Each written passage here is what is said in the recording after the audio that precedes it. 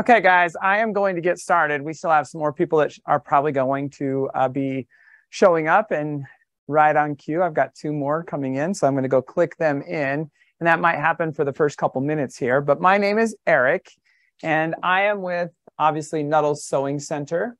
I am one of the owners of Nuttall's, along with my mother and father and my beautiful wife. So I've been with uh, full time with Nuttall's for 25 years. So fresh out of college, I came in to work with Nuttall's for Norm Nuttall, who is was my business, my, my mother's business partner. Um, you know, 20 plus years ago, she she ended up buying him out. But prior to the buyout, I came and worked for him, and that's how I got into the business. Uh, since then, I now have brothers, two brothers in the business. I have a sister who's in the business, a niece. So it's definitely a, a real family affair. Makes family vacations a little bit tricky.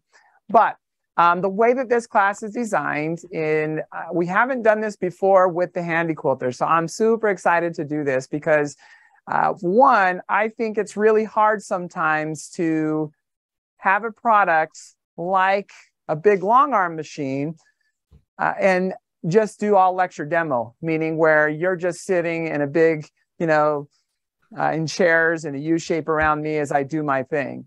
So I think it's really important to be able to, at times, be able to go up and uh, test some of those things out on your own, look at your own frame. So hopefully you guys are in a, in a place, because uh, that's the way this was designed. Hopefully you are in a place to where you can have access to your equipment as well. Because at some point, you're going to want to be the driver and not just the passenger on this ride. So that's really kind of where we're at and what we're hoping for. Um, everybody is coming in on mute but you can unmute at any time. Just feel free to unmute. The only thing I ask is, you know, after you're done with your question or whatnot, whatnot, you might just mute. That way it keeps everything rolling a little bit smooth so we don't get too much confusion or background noise going as uh, the class continues. This is being recorded. Um, how that recording turns out is always kind of a mystery. We'll find out and see how it goes. But usually it turns out really well. And once that recording is done, uh, it gives me a couple days to go in and get that kind of edited down and uh, distributed. So I will send the recordings out, a link for the recordings, so you guys will have them through like email and whatnot.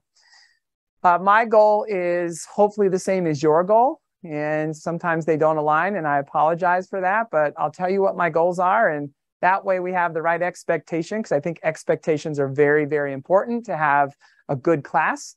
And so my expectations, you guys, are for you to feel comfortable um, really getting that first, second, third, fourth, could be your 15th quilt on, whatever it is. I want you to feel more confident in that. I want you to feel really comfortable in going to your machine and maybe doing some things um, a different way that might work out a little bit better for you. Uh, you can always teach me some th- new things. I learn something new every time I teach. And I've always said this whenever somebody says, you know, how do you learn all these things? Um, I take a lot of classes myself.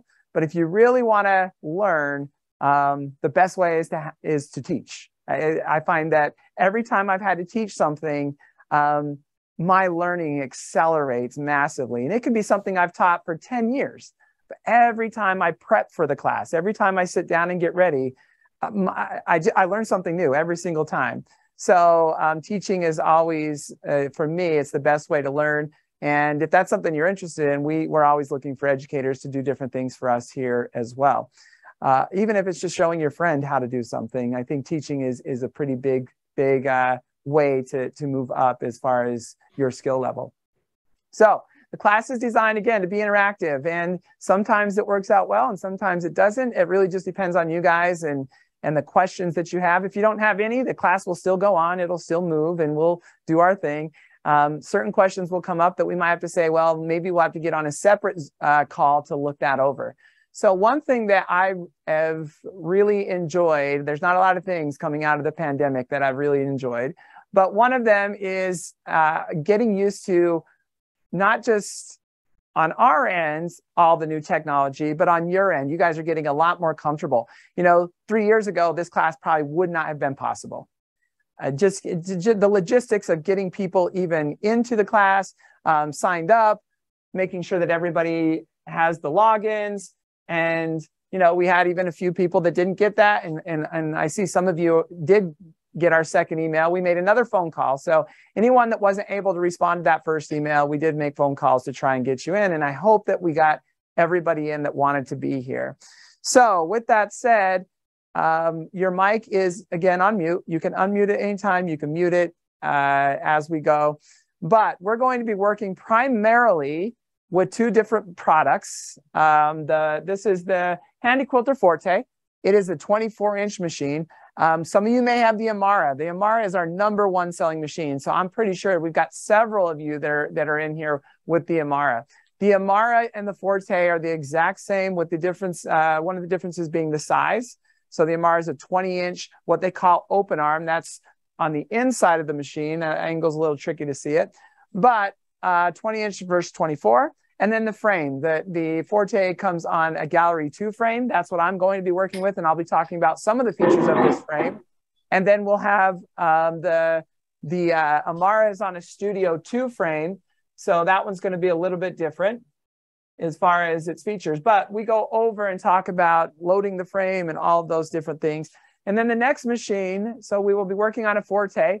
But again, everybody that has an Amara, this Forte is, is just take really good notes on what we're talking about because it's the same as yours, just difference in the frame and um, the size of the machine.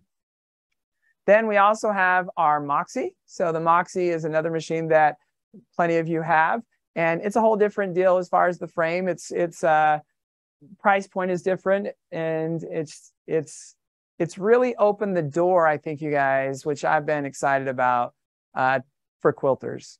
You know, people that were not interested in spending you know the kind of money that it costed to get into a long arm have found their way into a long arm through the Moxie. So we're really excited to have that added to the class what you guys are going to see throughout this class is you're going to see a lot of techniques. So you're going to see ways to load the frame. I think that's important. So we're going to definitely start there. We're going to talk about tensions. We're going to talk about needles. We're going to talk about threads.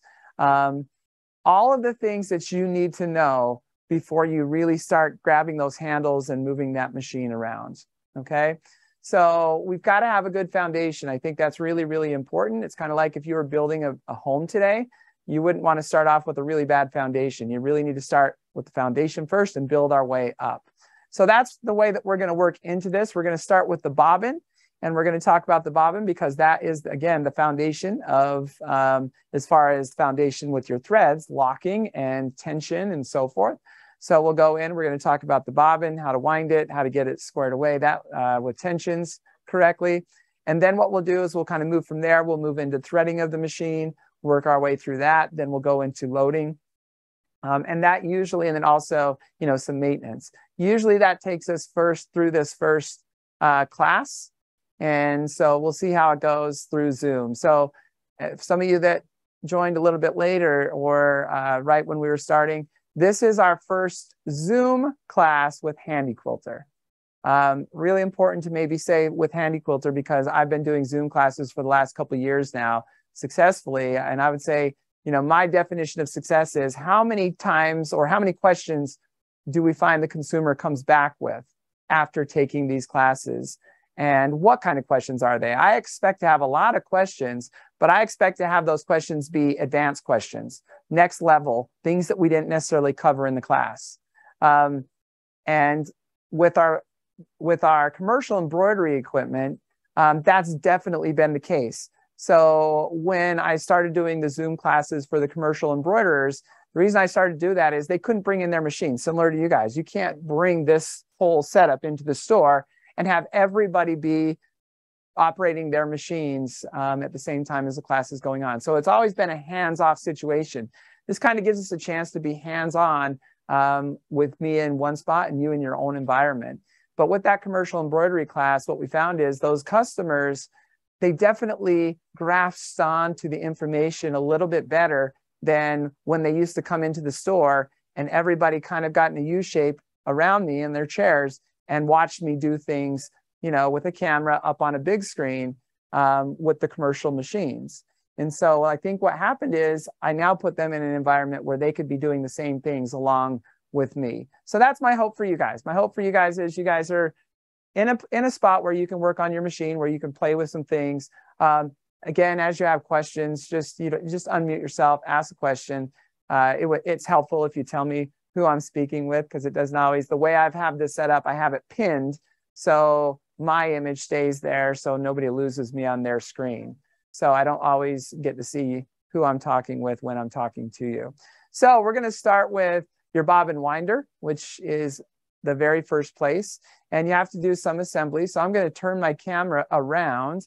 And I am a little one-man band here for this. There's our nice, beautiful parking lot. But we're going to switch this onto here. And so there's two different bobbin winders that we're working with. This is going to be the bobbin winder for the Amara and the Forte. This is going to be the bobbin winder for the Moxie. So a little bit different, but functionality, the way they work, it's, it's very much the same. You do have a little bit more control on this bobbin winder here. So that is, is a, a thing. But when we're winding our bobbin, so first of all, you had to assemble your little uh, thread stand here. And so this little pin goes in, you tighten that down, and that washer actually is in the wrong spot. It's supposed to be underneath, so I can change that really quickly. Not hard to do. But you've got the spool support, and then you've got the um, thread stand, so or the thread guide. That's this guy up here. And then on the uh, Mara and the Forte bobbin winder, you have this little piece here. And some people are like, well, what the heck is that thing for? I'm going to show you and explain how that works. And I think most of you have, have, is there anyone that has not put a quilt onto their frame and attempted to quilt it yet? If so, feel free to chime in and say, not me or whatnot. Um, or maybe you put it on, you just don't feel comfortable yet doing it. That's okay. So as we go through here, so everybody's been through this, this little spot. So we don't have to spend too much time. But once this is on, all you're going to do is you're going to take your thread. It's going to come vertical. It's going to go in through here. It's then going to go through this little guide. You guys, this, this, this guide should be on a little bit of an angle. So it should be on an angle going from here into here. Okay. So when we do that, we want to take it in through, we're going to thread it in through that little loop here. And then you have to go in and you have to floss it. And when I mean floss this, these are tension discs. So these little guys right here, those are your tension discs. This is the tension dial to adjust that. Your thread is going to need to go in through this disc. So here's the disc, and it can't sit to the outside. I don't know if we can capture that on camera. We'll try. But right now, if we look on here, my thread is still sitting to the outside because I can see it and I'll show you. It's right there. There's my thread. So that thread needs to be floss. So I grab it on both ends and you just pull it in and now it is inside that disc. You can't see it on there. So that's what we're looking for. That's the expectation when you're winding your bobbin is that you have that all the way in. It works the exact same way on the Moxie, except for the thread is going to come up on the Moxie. The thread is going to be put on your stand. Let me move this up a little bit. Actually, we'll just slide that over. So on the Moxie, you're going to put your thread. There's a spool holder in the on the in the back here. So you're going to put your thread on here. Your thread is going to come vertical up onto there. You're going to want to make sure that your thread mast is all the way up. And then what you're going to do is you're going to come from here. There is a guide right underneath here. So underneath in this little spot here, you will see a guide in a minute once we focus. That little guide right there. So that thread, your thread is going to come from the, the thread uh, stand down through that little guide. You need to go through there and then you have to do the same thing. You have to floss it inside that disc. Do not let it sit to the outside. It won't work. It's going to have an issue. So once you're through the disc on both of these, the next thing that you are going to do is you're going to come on here and you're going to come straight over. You're going to take your bobbin and you're going to come straight over from this little area. I've got some extra thread here. So we're going to take this. It's going to come from here. And you're going to have your bobbin on. I already have one that's wound, but I'm going to show you a couple little adjustments that you can make to this as well. So with your bobbin in place, what you're going to do is you would have your bobbin on here. What I do is I take And depending on the bobbin that you're working with, if you look on here, uh, when I do this, you see that little opening. So I'll usually thread the thread. I'm going to grab a different bobbin. I think I've got one that's not loaded. Let me just check that out real quick.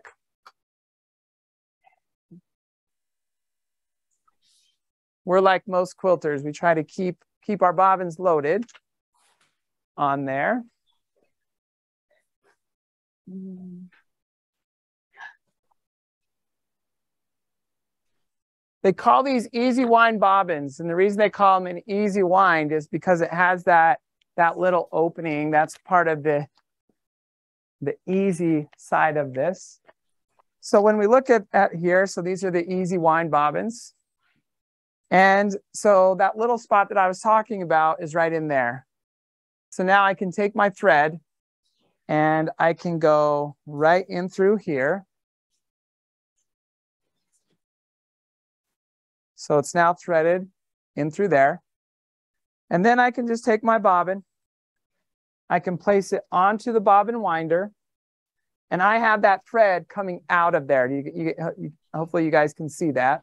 And then what I do, you guys, is I hold onto this and I hold on tight while it's spinning and the thread will break off. The last thing I want to do is let go of this and have the thread flip over the top of that.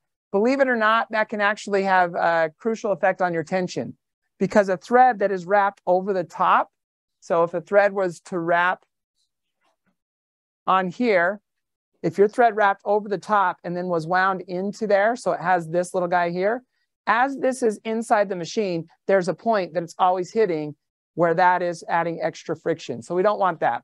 So the next thing that I'm going to do is I have it on and it's going to be, it's on an auto fill. So it's going to fill this automatically based off of where these sensors are. So we'll get into that in a minute. But I also have the speed on, on the uh, Amara and on the Forte bobbin winder, we have adjustable speed that you can play with. On the Moxie, it's a simple start and stop. So it's going to be start and stop. Both of these you can adjust. So on the Moxie, there's a screw right here. This can be adjusted. This is a laser, um, a light beam that goes through here that is recognizing how full the bobbin is. So if you don't want as much bobbin or thread on your bobbin, you can take that screw, loosen it, and move that in, and that will adjust the amount of thread that gets put onto the bobbin. If yours is currently not giving you as much thread as you would like, you can adjust that out, and that will give you more bobbin thread on there. On the uh, this big guy here, same thing. There's a screw right in here. So we have a screw that you can loosen up. And then this whole unit can be moved in and out, and that will adjust um, the, the amount of thread that goes in onto your bobbin on there. So with that said, all we would do is we would go into here. I did come out of that little loop hole, so I wanna make sure that that's in there. If you need more tension, all you're going to do is you're going to adjust it here, tighter or looser. Now, what's going to happen is if it's too tight, your bobbin is not going to want to wind. You want a really nice, tightly wound bobbin, but if you go too tight, you can actually misshape one of these bobbins here. So you got to be a little bit careful with that. Um, what we're going to do is I'm going to hold onto the thread. So I just kind of wrap it around my finger and hold on, and I'm going to pull. I just broke it doing that. So I'm a little tight already, I know. So I'm going to loosen that because I did tighten it when I kind of was showing you. So I'm going to put it back through here and get it ready to go. But what you're going to do is you're going to allow the system to wind that bobbin and you don't want it to be uh, like a sponge. You don't want to be able to push on that thread and, and really pull on it. So at this point, if I'm ready, I can adjust my speed to wherever I want. I usually wind it about a six or seven. Um, Delicate threads are going to require a slower speed. So if you're working with, you know, metallic threads um, or lighter weight threads, you would want to slow that speed down.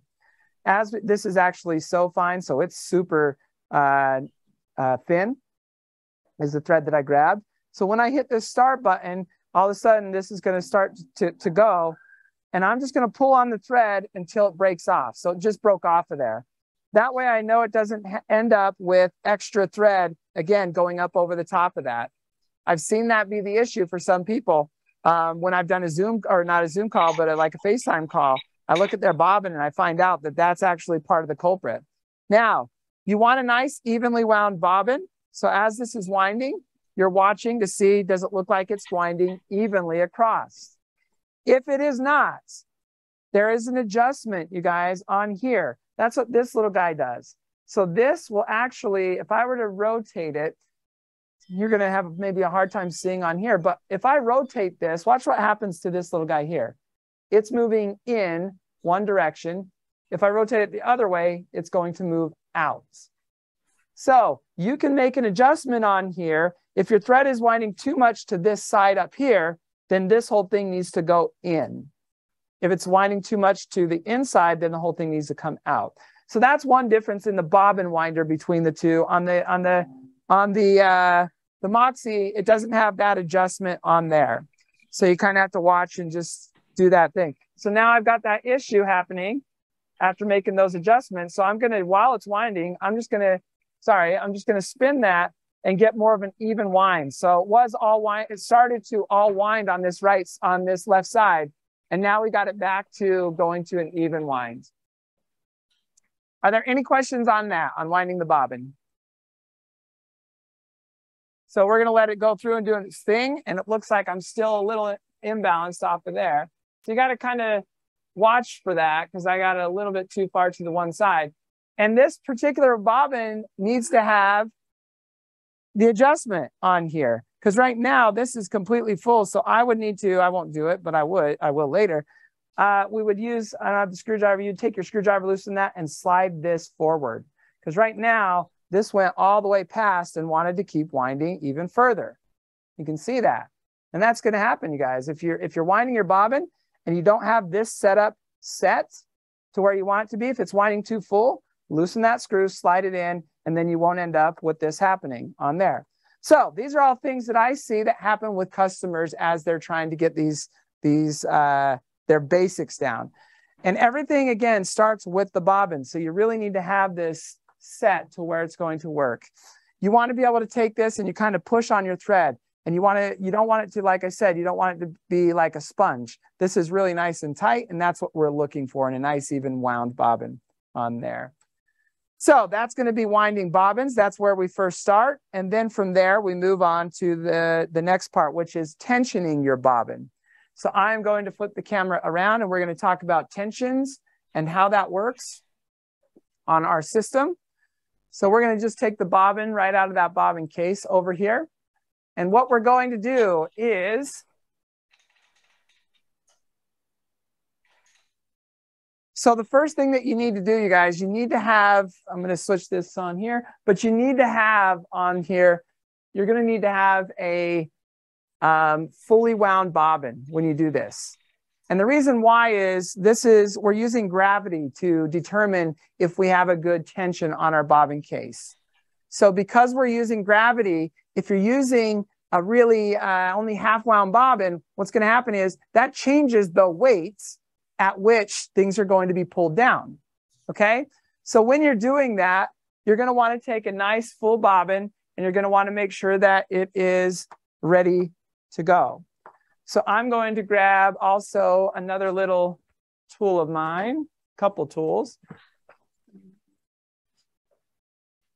So you have a lot of little gadgets that came with your machine. And one of them that I'm going to look for is my little screwdriver. And I have been threatened with my life by my wife to make sure all this stuff ends up back in the same spot when, it, when it's all done. Probably won't happen, but we'll, we'll do our best. So we're going to take our bobbin, we're going to place it in. Now, I'm going to show you guys something really quick in here. Um, this is on the inside, you're going to see there's a there's a, a spring in there. So this spring that is in here needs to be a part of in your bobbin case. Okay. Every once in a while, I, again, I get a phone call and we're trying to troubleshoot over the phone. And I say, well, let's just take out your bobbin. Let's take a look. And sometimes that little guy's missing. That's got to be there. It's an anti lash spring, um, backlash spring. So what it does, you guys, it, it really stops the bobbin from constantly over rotating. So when you're quilting away, you've got all these different speeds and things happening, and you go to slow down and speed up. Your bobbin can continue to rotate further than you want it to if that is not in there. um, I'm going to make a very strong recommendation that everyone um, invest into a second bobbin case. I think for a lot of reasons. Um, one, the last thing you want to have happen is you're working on a quilt, something's not working right, and it's you know nine o'clock at night, Nuttall's is closed, or it's the weekend, even worse yet, Saturday night, you're ready to get some things done, and you have issues with your tension. Having a second bobbin case at least allows you to to continue through and get your work done. Um, the other reason I like to have a second bobbin case is I like to have one that I that I set for the main threads that I work with, and then I like to have one that I can just constantly adjust back and forth. So you're going to find there's certain threads and certain weights and so forth that you're going to fall in love with. And then you're going to have some threads that you're constantly going to be adjusting for. I find it more useful to, to keep one good bobbin case that I that I use on a regular basis with little adjusting and you know maybe just put a mark on it so you know which one is is which. Uh, hey, so before you go on, I have a quick question. If that yeah. little spring thing comes out, how do you know? Does is there a right or wrong way to put that back? Yeah, there is. I, will pop one out and I'll show it to you. That's a great question. So let me flip this around. And actually, let me just take this the spring out. There is a right and a wrong way. Um, so I just pulled that out. So if you were to really look at this, kind of tricky, but let me see if I can do it on the table. That will probably be easier. So if we were to go in and we were to look at this guy, on here, there's going to be one side of this, you guys. One side is going to be narrow and one side is going to be wider. So if you look on here, and what I mean by narrow and wider, these little forks that stick out, this side is wider than this side here, okay? So there's a definite um, difference in, in that, that portion.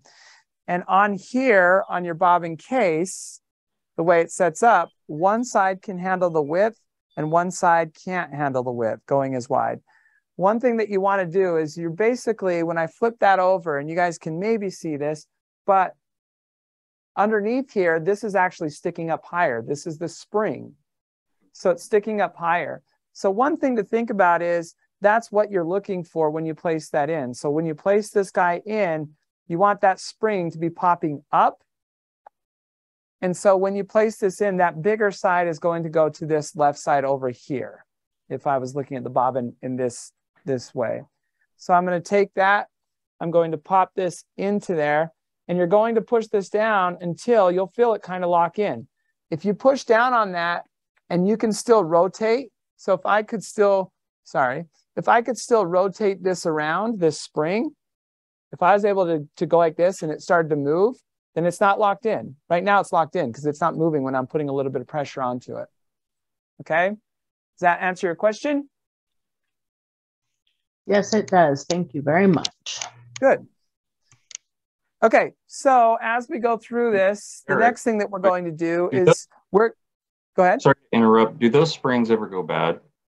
Um, they do only if they come out and you end up misshaping it. They don't oh. tip it. They don't. They don't over like if it never comes out of here. I shouldn't say it couldn't happen. I've just not seen it to where one's gone bad in the case. I've seen it to where one's come out and somebody says this fell out. I went to put it back in. It doesn't seem right, and it's bent, and I can see the bend in it. And then we we you guys we try to stock these as replacements, um, the little spring. So it's not a bad idea to have that on hand. But again, I really think having a second bobbin case, even if it's just a matter of I don't have the spring in there, the spring is damaged, use the other one so you can get a new spring. But it's nice to have that other one to have a tension set to. So when you place your bobbin into your bobbin case, you're going to want to take your bobbin, you're going to place it Becky. in. And, Can I ask you a question? Yes, I'm sorry. Absolutely. No, don't be sorry, you guys. This is uh, just so you guys know, I want this to be more interactive. It's a much better session for me if it is. Otherwise, I'm just here talking to this mindless camera. So go for I it, have, Becky. I have the Avante and I got it okay. from you used. Um, but everything was perfect. However, looking at my bobbin, I don't have one of those springs in it, my bobbin case. Yeah. Um, and I've never known that I needed that. And I've been using my machine. Is that going to hurt anything? Have I damaged anything by not having that in there? No, it won't damage anything. What's going to happen? So the older machines, this is all stuff that that uh, as other companies do things, right? Everybody kind of finds out, is this a good thing or a bad thing? So Handi Quilter originally didn't have that back spring in there, that backlash spring. So it's it's not going to hurt anything. Um, it's just taking everything a step further. So you're going to find that things are going to be more consistent, especially if you use. Do you use pre-wounds at all, Becky? Oh no, I'm sorry. I'm okay. I'm new at this, so I'm trying to learn how to do it. No, no I great. I wind my own. Okay. So you're going to find when you wind your own, you're going to have less issues not having that backlash spring in. If you use pre-wounds, it's it's it's almost imperative that you have that in there. So something so to that, keep in mind. So will that also make a difference on the tension, on how the tension works with it? It does. It makes it more accurate because it doesn't allow your bobbin to over rotate and leave extra thread in the bobbin before the stitch is formed. And, and so this same bobbin case is available. You can get one for the Avante. So it's, it's definitely available. And I, I think, you know, like I said, maybe that could be your second bobbin case as we're suggesting. Thank you. Absolutely. So the next thing that we're going to do is you're going to take your bobbin, you're going to put it into your bobbin case. When you look at your bobbin case, that bobbin should spin. When you're looking at it, it should spin clockwise when you pull on the thread. Okay. So once it's in there, the next thing you're going to do is you're going to, I put a little pressure down on the bobbin, and then you're going to see there's a little slit on the side. So that little slit is where your thread has to come through. So you're going to take your thread in through that slit, and then you're going to pull it over until it goes behind. This is called the tension spring. So this whole piece here is a tension spring. Okay. So you want to get it into there. It has to look like this. So it's coming out of that little slot. That's what we're looking for. And now we're going to go in and do our, our pretend, well, our tensioning of this bobbin case. So I'm going to kind of screw it up first. So it's not great.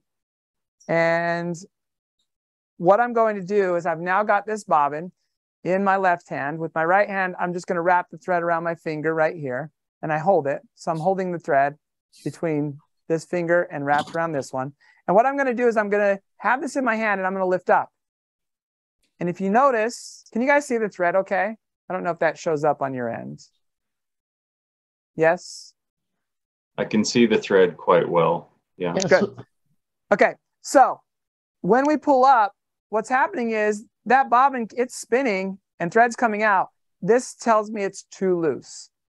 I want that bobbin to stand up off of my hand. I want it to stand up. So that's too loose. So what you would do to make your changes, we're going to sneak up into here and I'm going to show you. There's two screws on here. There's this screw, it's a bigger screw. This screw is the screw that holds the spring onto the system. So if you guys want to grab your bobbin, you can do this and look at it while we're while I'm working on it or explaining it. But that little spring is what holds the, the screw or the, the that little screw, sorry, is what holds the spring in place. This one is the one that makes the adjustment to our tension. If you turn it righty-tighty, so clockwise, you're going to tighten the tension. Lefty-loosey, you're going to loosen the tension. So I know I need to tighten this, and I can tell you on your bobbin case, think of it as a clock. If you go from one o'clock to two o'clock, that's a pretty big change in tension because that diameter of that screw is just so small. But I'm gonna, I'm so I, if I was new to this, I realized my tension's too loose, so I'm going to adjust it. And I usually make too much of an adjustment, which is what I just did now. So now what's gonna happen is I've got my bobbin in my hand, I lift up and look. So that's the opposite. That tells me even if I jiggle my finger a little bit, it doesn't move. That tells me it's too tight. Okay. So it's really that easy. So now it's the, the hard part is making, and it's not hard. It's just, you just have to do it is keep adjusting this screw in the direction. So now I'm going to loosen it because it's too tight. And I'm going to keep playing this game. So I'm going to lift it up. I want it to lift up, which it's doing. And when I lift up my finger, it stood up and it's coming free. So now I'm pretty close to where I like it. Here's what I'm going to do to test it. I'm now going to move my left hand down and if it feels like it would just fall really fast, then it's still just a little too loose. I want this eventually, guys, I want this to just slowly move down on its own. So I'm going to take this. It's just a hair too loose. I'm going to make an adjustment. My adjustment is from 12, not to all the way to one. That's what I just did. So I'm going to check on there. And we're going to take this guy now and we're going to do the same thing. It stands up. I move my hand down. It's moving with it. And now as I go, and it's really a feel that you're going to feel a little more tight. I need to tighten it just a hair more. But you guys, it's it's it's hard to, to explain, but there is a feel. So right now, as I'm dropping this, there's getting a little bit of clearance in between my hand and the case. So I'm going to keep doing that until I get to a point where now it's kind of holding. And if I just lightly jiggle it, it's going to start to, to move down. So right now I'm pretty good, pretty set with my bobbin tension, back it up just a slight amount. That's your baseline. So we always want to do that just to make sure every time I put in, even if it's the same brand of thread. So whenever you go in and you uh, change out your bobbin, I think it's really good practice because what you're going to find is most of the time it's just going to be accurate. It's going to be ready to go.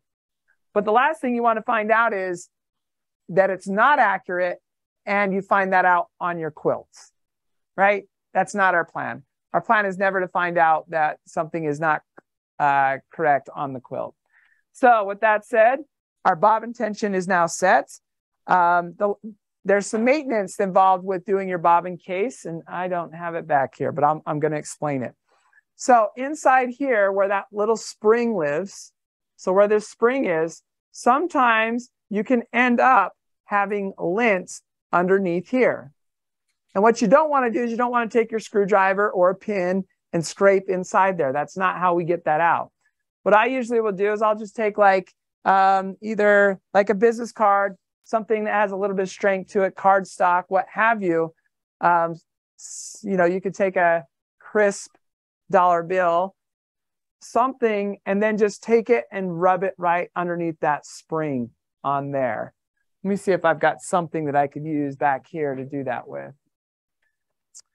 And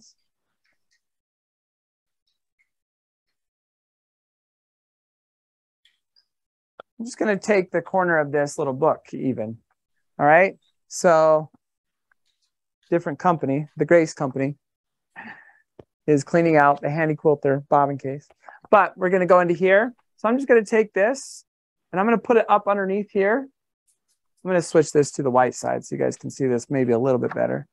So all I'm going to do is take this piece of paper.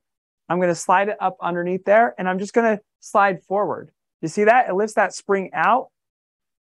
And then I can just clean that. That will get anything from underneath there just out of there. Sometimes you have thread that uh, builds up in there. You can have just, you know, lint. It could be anything. So I'll have sometimes uh, times where a customer will call and they'll say, Hey, I can't get my bobbin tension right. No matter what I do, the bobbin just keeps falling straight down. And I've got the screw tightened all the way.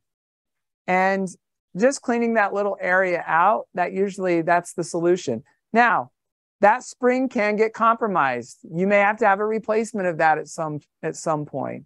Um, so it can get compromised over time, uh, lose its spring a little bit, but cleaning it out will make a big difference. Sometimes also certain threads have a finish on them. They can leave a little bit of that finish on the bobbin uh, case itself on the inside. So just running something through there periodically will, will help clean that out. So you want to make sure that you're doing that, that maintenance on the bobbin case. That's your bobbin case. Um, now what we're going to do is I'm going to, I'm going to attempt to really lower, actually, I'm going to move some things. So I'm going to take off some rails and I'm going to lower my camera down because I really want to get to the inside of the bobbin case to show you something that's really cool underneath. So I've got one rail that I'm taking off here. And then I'm going to remove the next rail as well.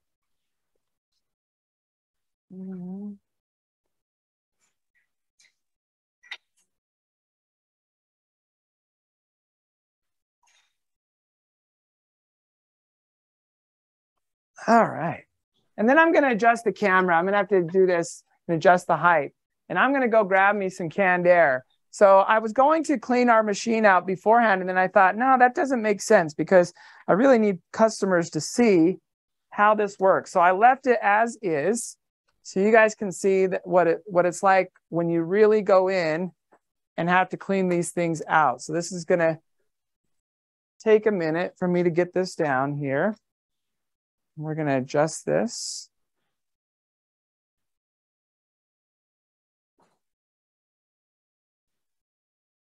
One thing that's really cool, and look, there's there's all sorts of fun stuff underneath there. You guys are going to be able to see I'm going to drop it one more level so I can be a little more direct. But if you look underneath there, there's thread that I can see behind the hook. So I can see that. You guys can probably see that as well. And there's a lot of lint in here. And this will happen. And all these things, you guys, are going to have an effect on the way that your machine stitches out. So we're going to get this down in. All right, now, one really cool thing on um, the Amara and the Forte is they have a light in underneath. So you have a lighted bobbin case or, or hook system. So now inside there, you can see there's a whole bunch of stuff just in there. This will happen. You're going to want to get that all cleaned out. I'm going to grab um, some canned air really quick. I thought ha I had it back here. Now, on your older machine, so uh, Becky, you said you have an Avante. You got to be careful with canned air on an Avante because if you look in there, and I, I can't remember if the Avante, I don't think it has a shield.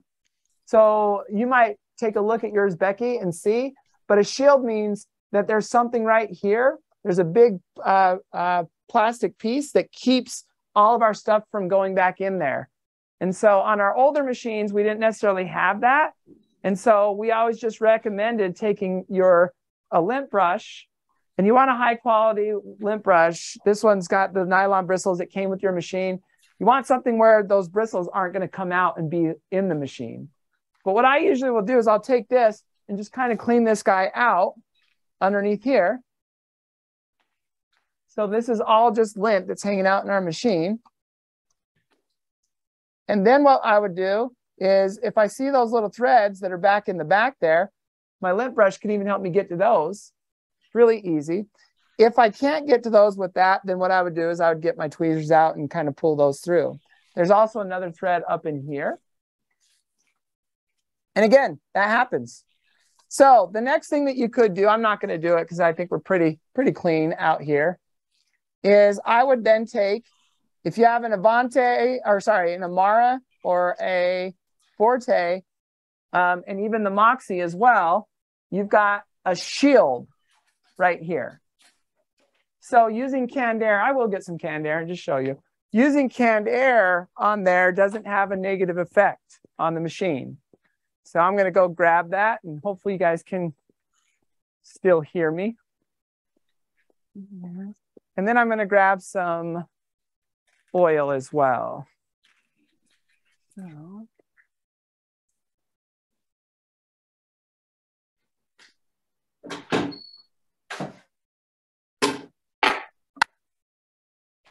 So keeping your machine maintained is, you know, it's a big deal. I mean, we, we all spend a lot for these products, and the last thing we need to do is is not have that being well maintained. Up on top, there's two screws. There's one here and one here.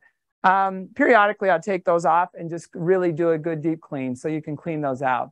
So with their with my canned air, there's a couple things that you want to be uh, careful of, you guys, with canned air. So some people say you can't use canned air, shouldn't use canned air. I'm not, I don't believe that. So um, they say not to use canned air because it, of the moisture that it can put into the machine.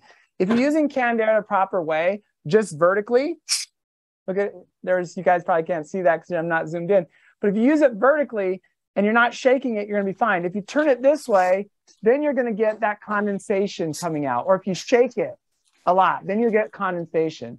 If you just keep it straight and you just use burst, it's pure air. Okay. Even when you, I like, we have big, big air compressors that we use in the shops to clean machines out. And those air compressors, they also have condensation because there's a there's a little button or a lever that we use to to to release the condensation. So right now we're on the inside of the hook. It's lit up, which is awesome. So that's a cool feature on again the uh, the Forte and the the Amara. And now I'm just going to take and I'm going to blow all this stuff out in here. Okay. Uh, paying special attention to everything right inside here too. So once you've done that, the next thing you're going to do is you're going to take some oil. So I've got this little oil zoom spout deal. So this kind of, I'm too zoomed in to show you. I'll show you in a minute. But this is what it looks like. There's a little screw on lid. You can pull that up. And then what you're going to do is you're just going to take this, take off the top, and then you're going to put a drop of oil right here. Okay. So right on top of this little ledge where the two pieces meet, you're going to, two metal pieces meet, you're going to put one drop right in there. And that's it, just one drop. If you end up putting too much oil in there, it won't hurt your machine, but it's going to, it can, it can cause tension issues until that oil gets worked out. Um, it can also come out on your fabric. So you don't want to put too much in there. If you get too much, you can just take some, you know, cloth or batting and just kind of dab it in there and that'll take it out. Any questions on oiling that, that bobbin area? It's really pretty easy. So now we're gonna, uh, we'll leave it zoomed in because we're gonna put the bobbin case back in next. And so next thing we're going to do, we've now tensioned our bobbin case. And again, this is this is exactly the way that I go through working on these machines. So we're going to take and you're just to, when you put your bobbin case in, um, that little part, this this little guy, you can hold that. But I wouldn't. It's it, it's it can kind of hold the bobbin case if in if it's quite right. But I don't like to hold it and angle it in. Just kind of take it and go straight in and then on that right side over here, that needs to line up. And you're to feel and you'll hear a click when it's all the way in.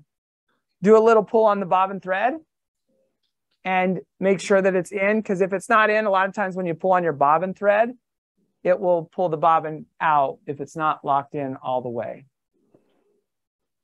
So that's the bobbin area and the bobbin case. So let's kind of move back into regular mode. I'm going to get my camera reestablished. So it's going to take a minute here. I am really happy that you guys joined us today for the for this class. I, I know for some of us it, it's probably a it was a I don't know about this Zoom thing, but I really, really, really strongly believe that you're going to have a better experience with your machine, um, being able to work with it at home as we as we do even more things. So let me just get this guy tightened up. Now we're gonna go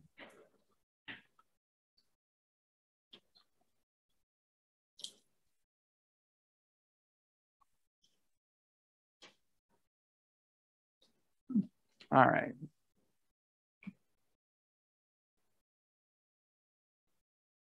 Hopefully that's good. We'll find out. Okay, so that is um, putting your bobbin thread into, or your uh, bobbin case into your machine. I usually at the bottom, I'll just go in and zoom out here. So I'll usually just take the thread and I just clip it off down here a little bit below the bobbin, the open door anyway. So I'd use scissors, not not not my not my finger scissors. So the next thing that we're going to do is we're going to work um, up in the top part of the machine. So I'm going to slide the machine down a little bit on my frame. I'm going to move the camera over to get to that spot. Are there any questions before I move forward with bobbins? No? All right. Moving on. Hey, so Eric, uh, yes, essentially, sir. this is uh, this particular um, session is kind of your setup process. This is how you go about getting prepared before you load uh, quilt on, and I'm not a quilter, so forgive me. no, you're, you're, those are the right questions. Yeah, this is exactly what I would go through every single time. Your machine deserves to have uh, new maintenance. I mean, every time I, I go in, so about every two bobbins, I'll at least put oil in the machine. Okay. Um, every quilt that I go on to, you're going to put a new needle on there. I think it's important to do that.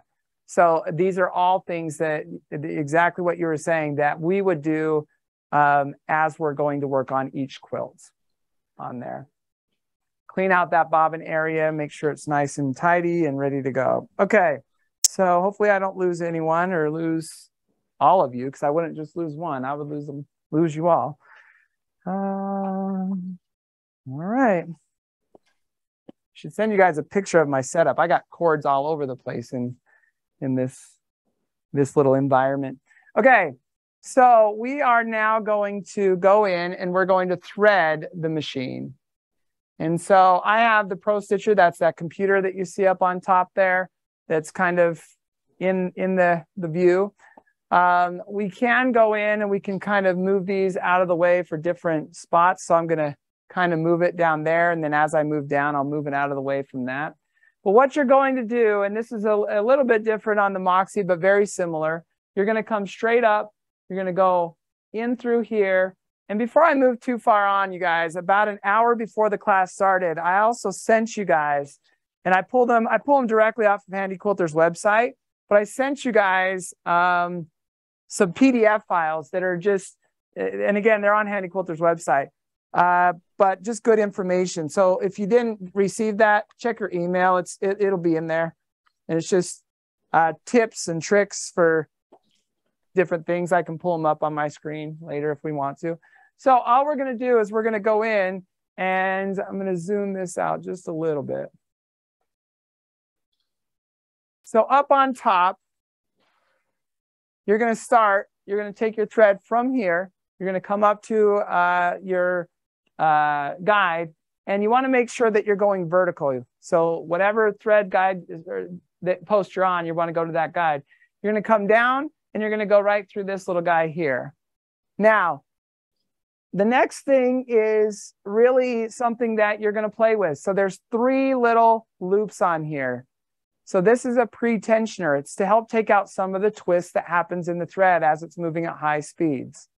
So certain threads and and and what you really need to do, you guys, is you got to experiment a little bit. Do some test sewing. What I find to work for most threads is I go through the first one. So I come from the back to the front, and I go from I go through the first one, and then I take that and I loop it around. So I go from there, I go around that. So I go from the back to the front in here. Then I loop it around. I skip the second hole and I go into the third one. Why? Okay. Um, and the reason that I do that is I find that sometimes when I go around all three of those, it adds too much friction to my threads as they're passing through. And it's not necessary for the majority of the threads that I work with. Now, you might have a different thread that you prefer that you work with. I, I, I like, there's a product that we have that, and my wife even likes certain threads herself, but finesse thread, I work with that a lot and it's just, it's smooth, it's awesome. And it works perfectly for me. So I'm going to take that through there. So that's what I do in most cases. Next, we're going to go in and there's a guide that is right here. So you're going to take your thread and you're going to go into here. And on the Moxie, you guys, it's, it's the same except for you don't have this guy here. So on the Moxie, you're going to go from your thread spin uh, spool up to the guide and then from the, the guide directly down to this, uh, the three holes that are on here. And on the Moxie, it's kind of at an angle a little bit. It's not straight up and down typically. So now you're going to go from here and you're going to take this and you're going to go into that next little spot. So I'll, I'll kind of zoom it down into here for that.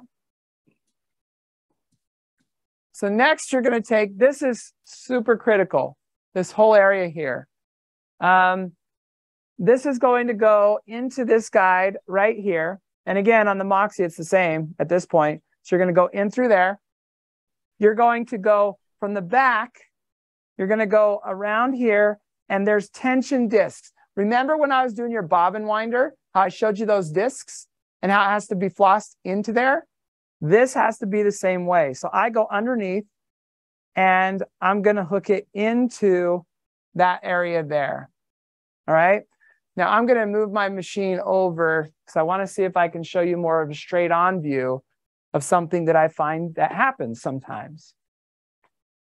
So in here, another thing that I see will happen is that is your tension spring.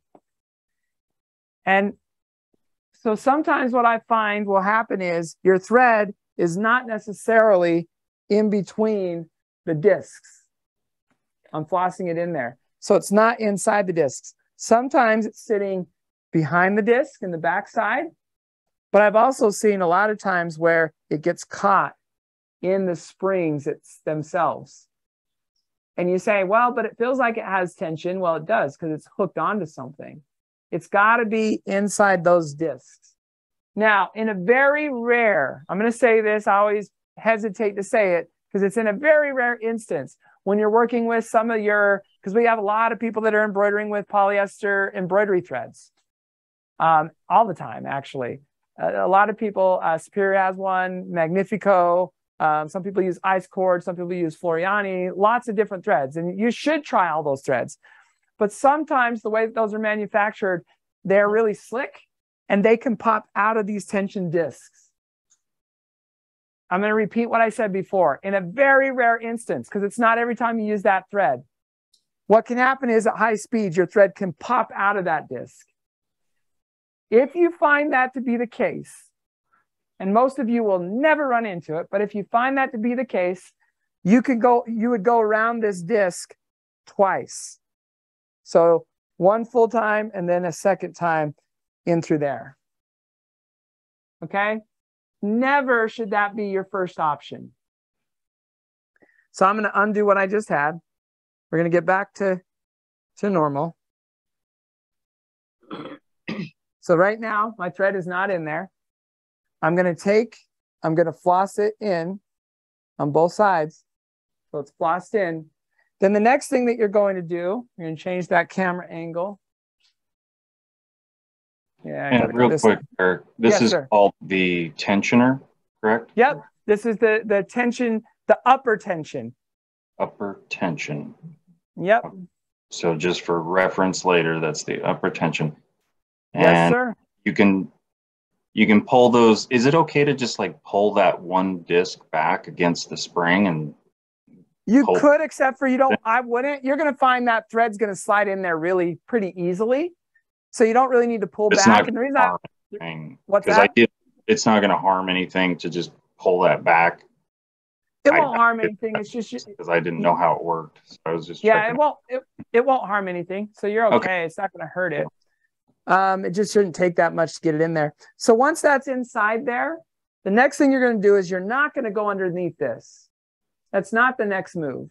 So I've seen that happen too. So let me do this. So you're not going to take your thread and go underneath this part next, like, oh, like that. so you're not going underneath this next. You're going to come in front of this you're going to go all the way up. So you're still, you're coming up into the tension disc even higher. You're going to go behind. So right here is a little spring. You're going to pull the thread up, go behind that opening of the spring, and then you're going to come forward. So that spring now should do this. If you were to put a little bit of tension on it, that spring, so I'll move my hand up. So if I'm pulling on this, that spring moves. It's called a check spring.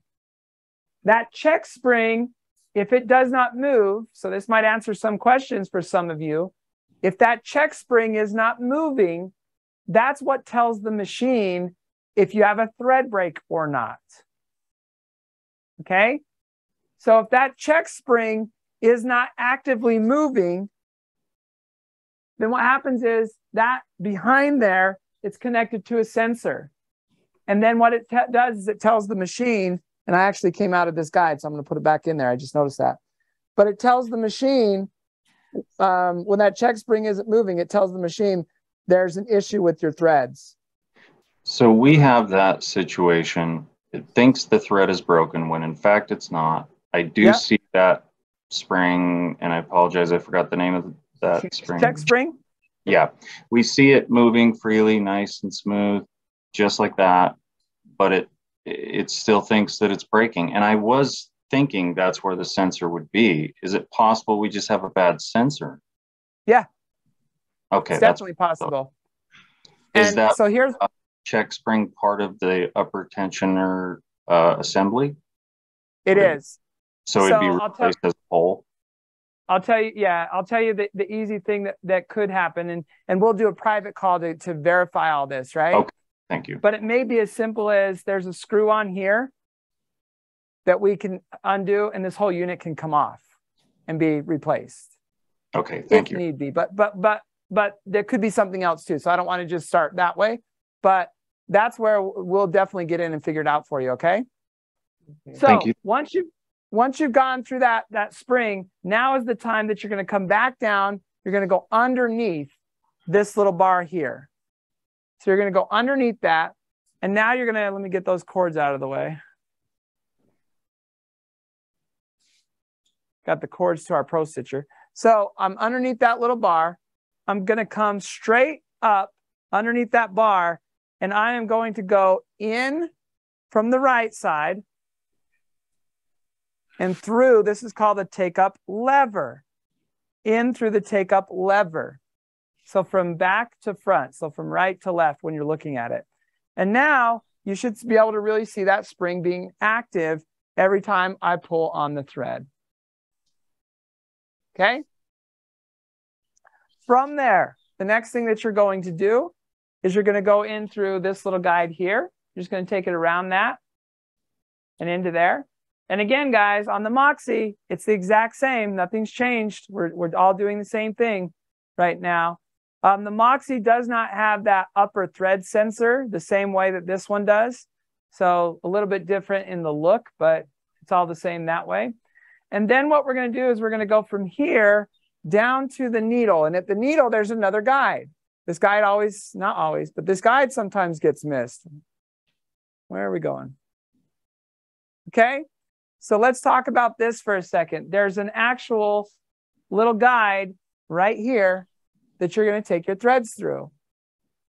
So all you're going to do now is you're going to go in and you're going to put it through there. But I'm not ready to do that because if I was doing a new quilt, there's more to it. I'm going to move that a little bit. I would go in, and the next thing that I would be doing is not putting it through the eye of a needle, but I would be changing the needle itself. Okay? So we're going to go in, and you have a little hex, uh, should have a little hex wrench. It's not mine. Let me see if where's where ours is. I've got all the tools except for that one. And, and guess who's going to be blamed for it? It's going to be me. You guys are my witness. you guys are, this is on record. So I'm going to, I'm going to have to play this back. So I'll tell you what you would do. And I'm not, because I don't see it here and I don't want to waste everyone's time. What you would do is you would take and you would loosen this little screw so this would get loosened up with the, the wrench on there. You would loosen that and you'd put a new needle in. Now, next week, because we don't have them and it's not sold by Handi Quilter, I'm hoping I have them in. I have a little magnet that I use that I put on the front of this needle that helps tell me if the needle is in straight or not. So next week, that's my plan is to show you one of those. They're 10 bucks. It'll be the best $10 you spend. Because here's what happens, you guys.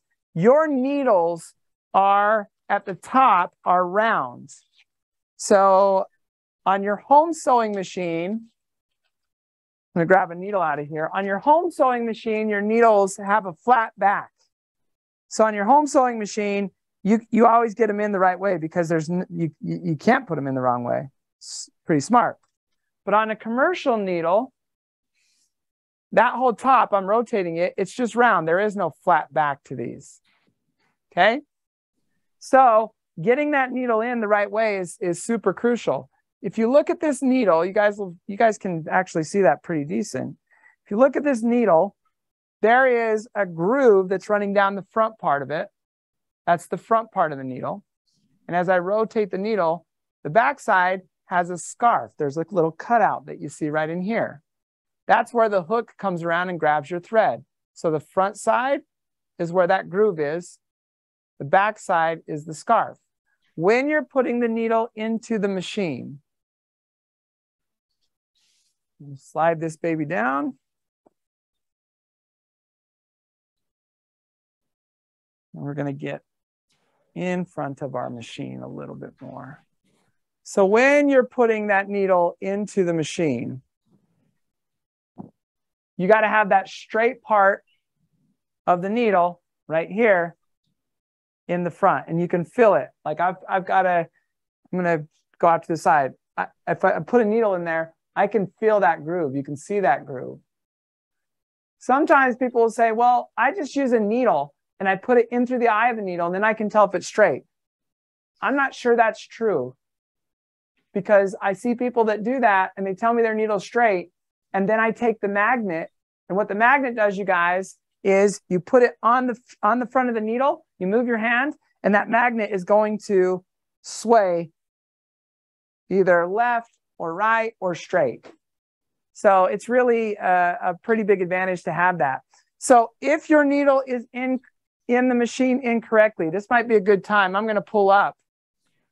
I'm going to pull up uh, and, and share on my screen some of the stuff I, I emailed out to you guys about an hour ago. And some of you might have already downloaded it. Some of you may have looked at it. I'm going to share my screen. So give me a second here.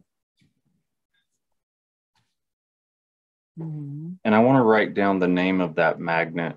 It, what's it called? Just a needle magnet? Yeah.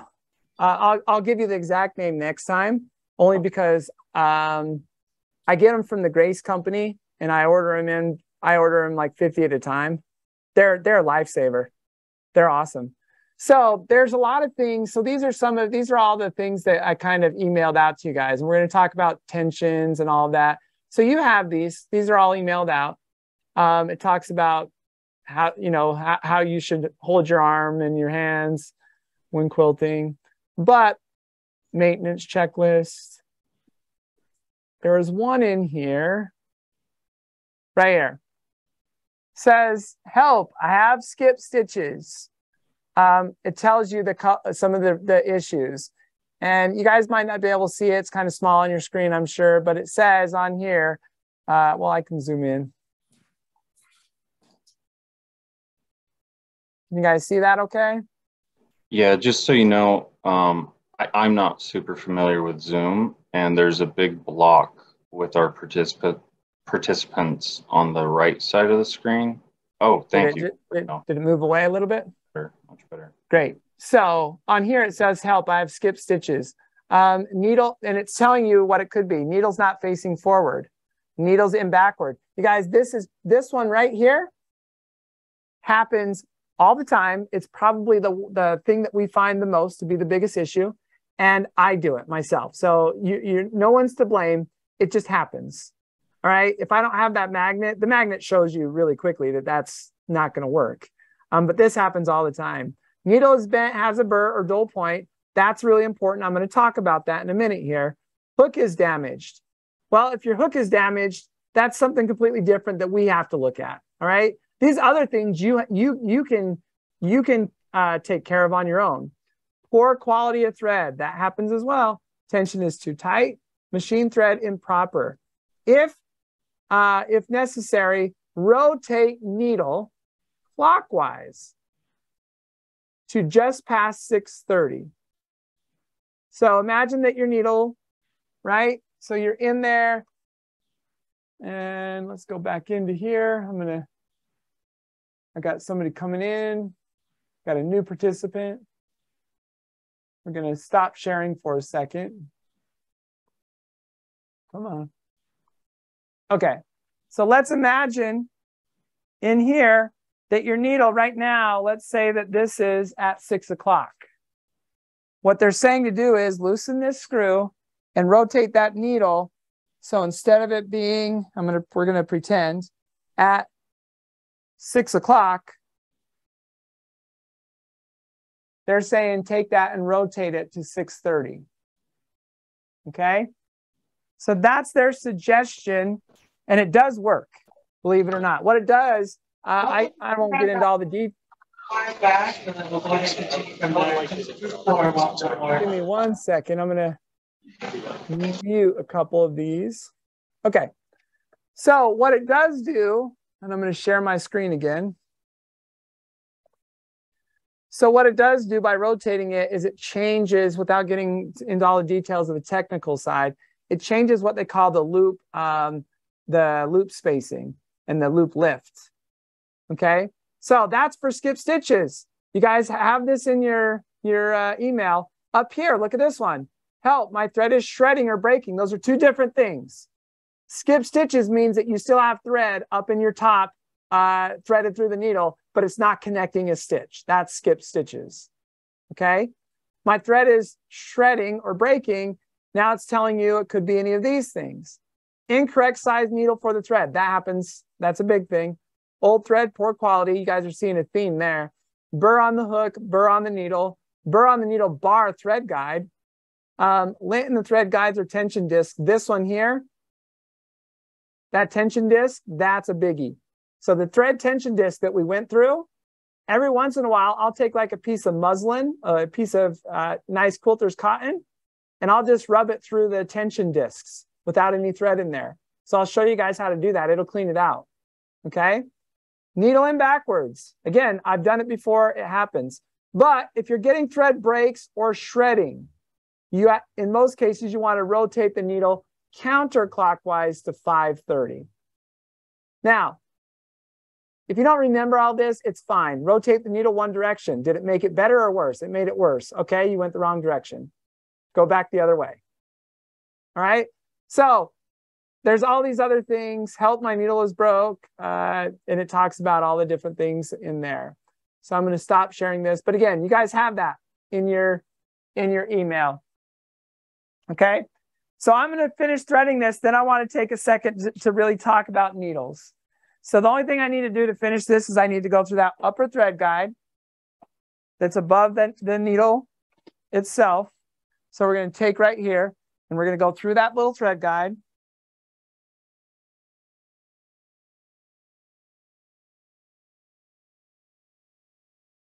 And I should have had my scissors over here. I'm going to go grab me just uh, some of my little, I usually have like a pair of Zinger scissors that I've, I pull off and use. And let me grab some of those.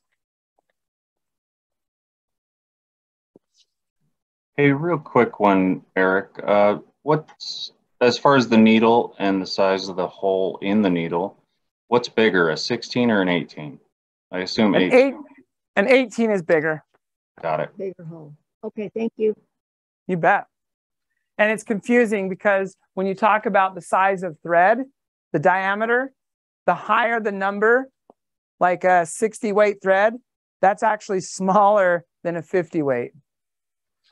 So they get confusing, but on on needles, it, on needles it's easy. The bigger the the bigger the uh, the bigger the number, the bigger the the shaft is and the eye on there. So I went through that one thread guide right here. And now we're going to go in. I'll let that refocus. And then we're going to just take and go through the eye of the needle, front to back, in through there. Okay? Now, when I pull on the thread, so I'm pulling on it, you can see, look at the needle. See how it's flexing? And when I mean flexing, it's moving. I'm just pulling it straight back. That to me is, is a good indicator um, initially if my thread tension is too loose or too tight up on top. So I like to pull on the thread let me just zoom in again. Maybe not so tight. So I like to take and I like to pull on the thread through the back and you'll see that needle. Can you guys see that needle moving? Maybe it needs to be zoomed in a little more. I did see it when it was zoomed in. It was, it's flexing just maybe a millimeter or two. Yeah, very small amount, just like that. That's what I want. But if I pull on this thread and it doesn't flex at all, my tension's probably way too loose. If I pull on that thread and it flex and it, and it just it flexes or it breaks the thread, that's what will sometimes happen. Then my tension is too tight. And your tension, we're going to get into that next week. But your tension adjustment for your top tension is right here. Okay? So we're going to talk about tensions next week because we're going to be able to, to really be in front of it and do some things with that. Any questions on threading the top of your machine? All right. We're doing great, guys. So the next thing that I want to get into, I do want to talk about needles and uh, really quickly and, and maybe spend a little quick moment on thread. Um, I'm going to grab, I'm actually going to pull up on, on the screen, share my screen again and show you guys because there is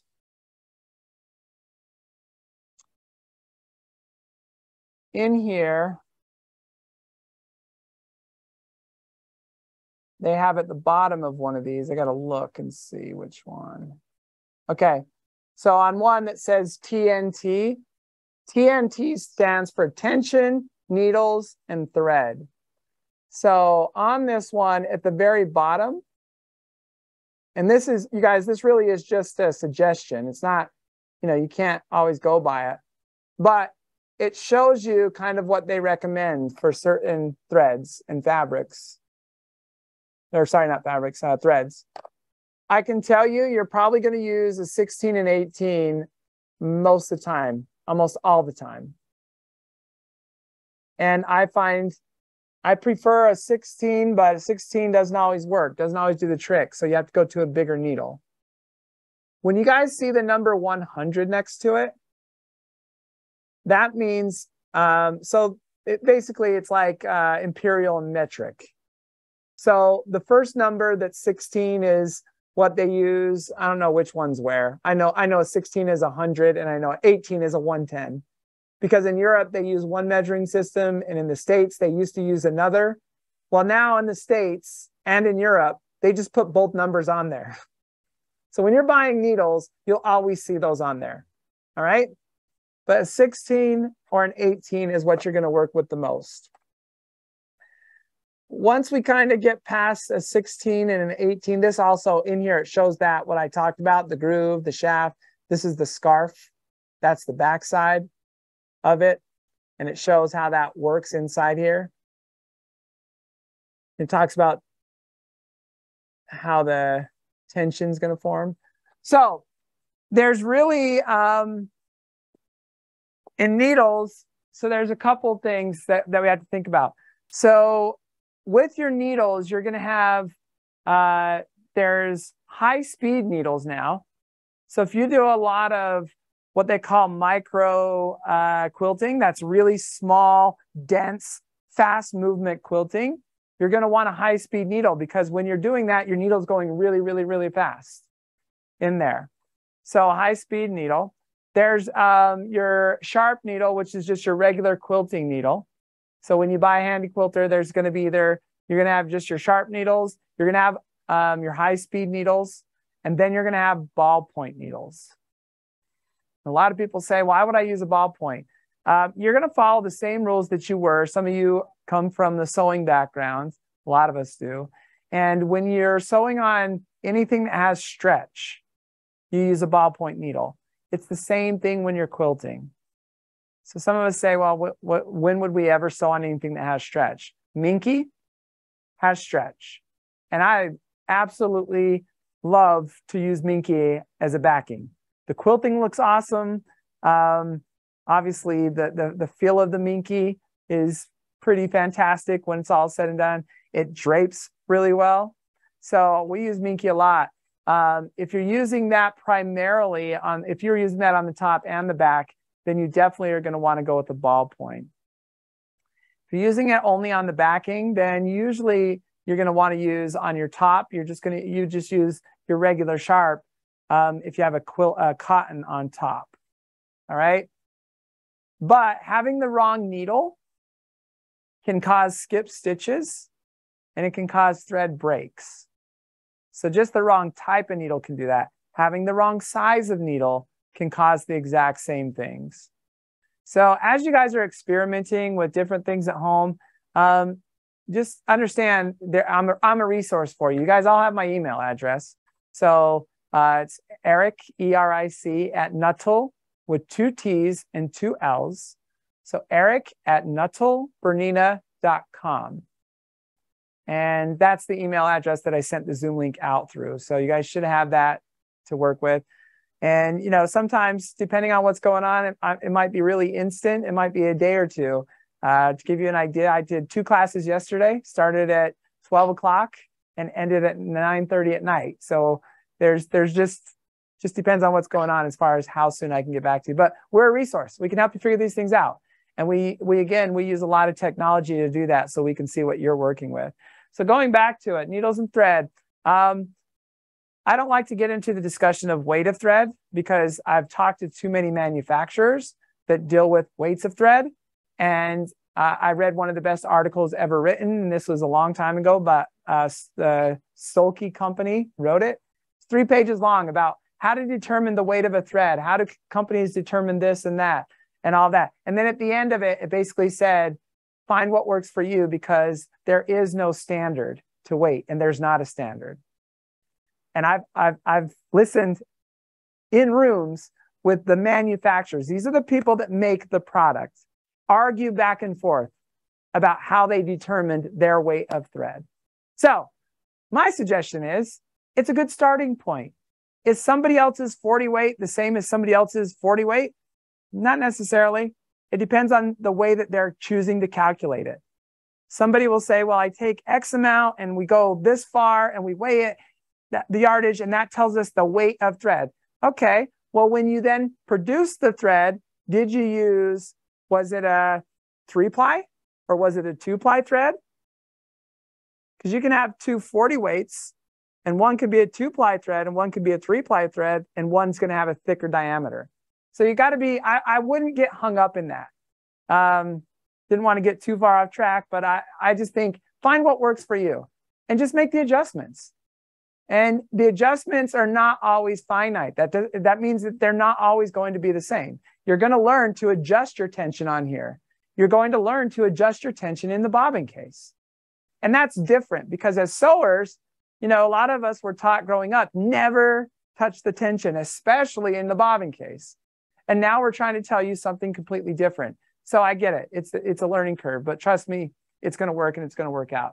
All right. So um, we talked about sizes of needles. So as you go up in size, that's going to change the diameter of the needle. And sometimes, a lot of times, the eye will also get a little bit larger. The scarf that, or that, sorry, the groove that's running down the front of that needle.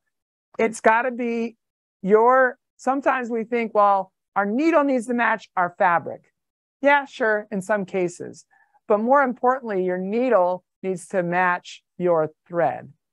And what I mean by that is maybe you're working on a denim quilt. So you're going to use a really big needle, but then you're using a super thin thread. Well, you might find that you're going to have to change and go to a smaller needle, even though you're on a, a, a thicker fabric. So your thread has to be able to, this is just a rule, very few rules, um, but this is one of them your thread has to be able to sit inside that front groove. If it doesn't sit inside there, if your thread is thicker than that groove, then what happens is you, uh, when the needle goes down in the fabric and on its return out, that thread sitting outside that groove is now creating a loop on the front because of the friction and on the back. And you don't want that because when your hook comes around to grab your thread, you can't have a loop on the front and a loop on the back of the needle. Okay, so your thread has to sit down the shaft. It's got to sit inside that groove on there. So that's really quickly um, on needles. Does anyone have questions regarding needles or thread or anything of that nature? No, that's usually where we get the most. So again, I think a lot of it is you got to explore and you got to play. And to, uh, I, I, keep saying tomorrow or wanting to say tomorrow, but it's uh, next week, same time. Um, we're going to be stitching and we're going to be showing good tension and bad tension and how do we solve it and all of those things. So that comes next week. The next thing I want to do now that we've covered threading and we've covered your bobbin is I want to cover loading the quilts. And everyone, there's lots of ways to do it. You'd be surprised how many ways there are to load a quilt. I'm going to show you um, maybe more of, let's call it the Handi Quilter way, because that's that's kind of what they show us and how they they have us do it. And then I'm going to talk about, uh, you know, some of the things that I do. We I, I don't necessarily do it the way I'm going to show you. Uh, I think it just depends on what you're comfortable with. I like to float, which is a different term, and I'll, later you'll see what floating is. But um, for now, we're going to get in and we're going to we're going to load a quilt on here. So I'm going to put the bars back on because they are currently off on the machine. So I'm going to put them back on. Um, there's a couple cool things. I don't know if you guys are going to be able to see this because I'm my camera can't zoom that far back out. But so over here on the sides, on this is the gallery two frame. Now, some of you may want something similar, and if you if you have questions about your frame individually, and you guys can see over to the left on here, this is the the Moxie frame. So a little bit different. And on the Moxie frame, you guys, you when you were doing your install, you got to choose how you wanted these to be set up. So some of yours is going to look just like this. Some of them are going to look a little bit different because you can choose um, the type of setup that you wanted to have on there. But on the side here, I'm just going to put these in really quickly. But one thing that is available that you guys can get if you don't have these, this is on the Gallery 2 frame. It comes with these. These are really cool. And later I'll show you because you can use them to hold a bar. So you can move a bar out of the way. So let's say you want to you want to fix your batting. You can pull one of your rails or one of your bars out and lift it up and put it up onto there while you uh, clean up your, the, the batting that's on there. I'm going to take my rail. I'm going to put this baby on. I'm going to go over to each side and get it where it's supposed to be. Hopefully there's no big bangs or crashes in this process. So I did one side and my other side is in place over here. I'm going to do the same with the next rail. And then I'm going to show you something that I'm going to recommend pretty strongly. And you guys are going to again, you're going to be the deciders of if you want to do this or not, or if you want to do your own thing. Is and the other good side, over here? The uh, where you're mounting the rails, is the other side look exactly the same? It does on this one here. So if we look over here, now your guys, if you're on the Amara, you have a studio frame, which is different. Right. But yeah, it's the same on the other side. Will that come out? Will what come out? Will the bar come out of the studio frame? Yeah. I mean, can you adjust it like you just did? Uh, you can oh. you can do that. You can take the bars out. Oh. Yep. I can see how the bottom one, the the belly bar, but but not the top one. I yeah, can't. the top one you've got to move. Um, you should take a look at your frame, but I don't have the Studio 2 right here, but it should be on here maybe these are locked in, unlock them, and then you should be able to just lift. Oh, okay. I see. Thank you. Yeah, for sure. Now, the studio isn't going to have, so if you guys, I'm going to switch this because that's kind of a hard view, at least looks hard for me. So in here, the studio is not, actually, I have to be over here. Sorry. Hopefully everybody's all right. So the studio is not going to have this where it has so, you have a, uh, a lock for the, the lower one right here. But then on, on the, the gallery two, there's a lock that goes this way. And then there's also a lock that goes this way. And the reason why, you guys, is on the gallery two frame, we can change this um, to be a regular view or wide view. I forget the names that they call it. I'll show you both. But this whole mechanism, this is what's kind of cool on the gallery two frame. I can take this whole mechanism, lift it up, slide it forward, and lock it into place. And when we do that, it actually changes the way we load the fabric. So I'll show you guys that in a minute. I'm going to do this over here. So right now, this is set lower. So if I were to adjust this, this is, I'm going to adjust this to standard. So this coming up and over is now standard. So what that means is on here, hopefully we don't get too confused by any of this. What that means is on here, when I do it this way, my backing would be on this bar, my front bar. Okay? So my backing would go on my front bar, then my batting, and then my top would come through here in this scenario. If I were to change it to how I had it before, I'm going to do it. So I'm going to adjust this side down. When I adjust this and I angle it down, that now changes. Now my backing is going to go on this rail and then my batting and then my top is going to come up over the top and into um, the take up. I'm going to go to standard. We're going to load a standard frame and then I can explain the other and, and help you guys figure that out next. All right, first thing that I want you guys to do is notice on my bars that I have on here, we go in and we put a mark. So we measure and we find the center point. Now, you should be able to measure, depending on your frame, your size of frame, everything's a little bit different, but this is where they couple together. This is where it hooks together. This is also where it hooked together again.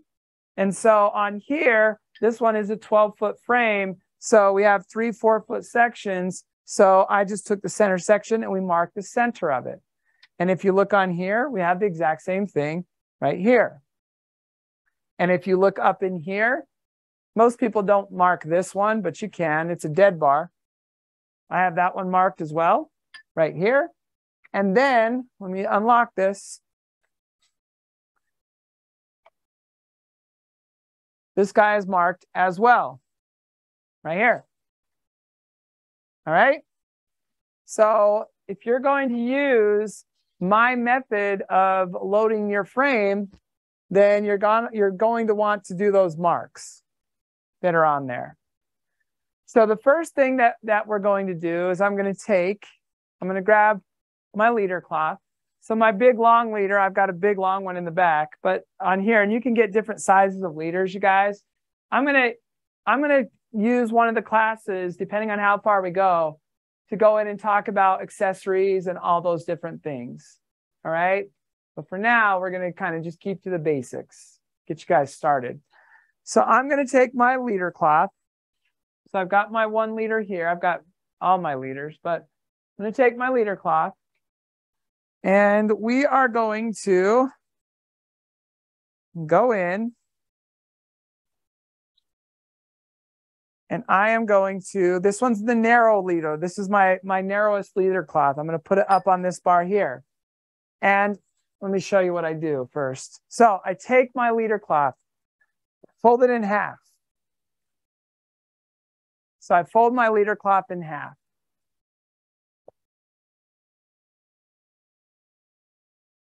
If my leader was too wide for my frame, I would cut it down, fold it in half, and then I mark it. And I don't just mark it on one side. I fold it in half and I mark it on the other side too, just a Sharpie. That's all we did. Okay. So with that marked, now what I'm going to do, I've got to engage this to go the right direction. Yeah, that should be it. So now what I'm going to do is I'm going to take, got my mark, and I've got my mark on here. So I am going to line those up.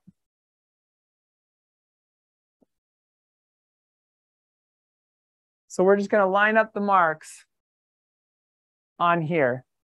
So I've got my fabric. There's my mark. There's my mark. I hook the Velcro to it. And now I'm going to do that all the way down. I'm just going to Velcro that all the way left and right. Okay. So I'm going to take this and I'm going to continue. I'm going to try to stay out of your view, but I'm just going to hook this all the way down. Now, some people take their leaders off and they stitch. They use their sewing machine and they baste their quilt to their leader. You can do that. And then that way, when they come up, they don't have to do all the pinning that I'm going to do.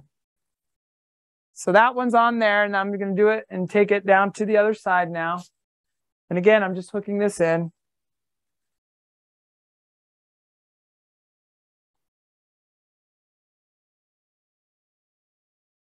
So now I know that this leader is on and it's centered. So that leader is centered. We're going to do the same thing on our next leader. All right. So now we're going to go in, grab my leader cloth. I've already marked it.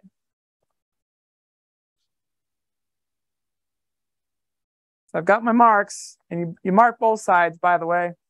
And now, so what I do is I also engage this, you guys. This is a, a little pro tip, I guess. Engage your, your ratchets on here. I engaged the other ratchet, the back one on this frame. This one is, is not used when we're going in this direction. So what this does is it allows me, and actually, before I go too far, that's not the right way. So I need to engage this one. That's the right ratchet for, for this frame. If you don't have a gallery two frame, you're not going to have to, you, that's not a thing. Or if you don't have that, so you can change that, that quick setup. On here, I have it engaged. So now that it's engaged, when I go to rotate the fabric, it's going to roll the correct direction. So now I've got this guy on here. I'm going to line up my marks just like I did last time. And we're just going to take and we're going to move it all the way across the frame. Okay. So now I'm going to, ooh, not do that. So now we're just going to take this and we're going to take it and we're going to go all the way across the frame. Now, one thing that I know is this is facing the right direction right now because I can see Handi Quilter. And if this is my top fabric, which is how I have the frame set up, this is how I'd want it to be. If I were to rotate this right now, this is showing me exactly how I'd want my backing to be. And if you look, so I'll zoom in. So what I mean by that is Let's look at the top fabric. I'm going to move it over here so it's not as to confuse you. So I don't have the backing. I don't have my leader cloth on this one yet. So my top, this is exactly how I want it to feed into the machine from this rail. So I need my, when I pin my fabric onto here, it's got to be right side up. Okay, right side up. The backing is what I'm putting on now putting on the, the uh, leader cloth for the backing. And so when I put the backing on, it's also showing me, I'm going to um, move this back to where it was before. So I'm going to, I went from centers out and my backing, the way that I do it is my backing is also now showing me how the fabric needs to go on. Because when you put your backing on, which is what we're going to do first, the right side of the fabric has to be facing down. Okay? So this is my backing that I'm putting on here. Um, I can take this now and I can rotate it. And I know that it's the right way because if I were to lift this up, you notice you can't see Handi Quilter. You could if I flip it, but it's showing me that the right side is going to be down. So now, here's what we do next. I'm going to move All, I'm going to move my machine out of the way. And before I go too far, I want to I want to also give you guys some more um, ideas on what you should be doing as far as maintenance goes. Okay, your rails. So down inside here is your tracks. you guys are going to want to take, you can even just take batting. It could be just a piece of batting. I'll rip one off. So I could just take even piece of batting and you would want it, you don't want to use chemicals on it because there's plastic and you can cause damage to the plastic. But I'm going to, I'm going to move these because I should have shown you this earlier. And these are definitely in the way. So I'm going to just pull these off again.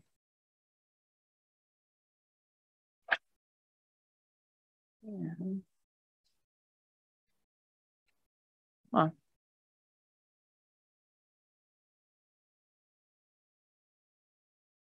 I'll get these out of the way so I can show you what I mean.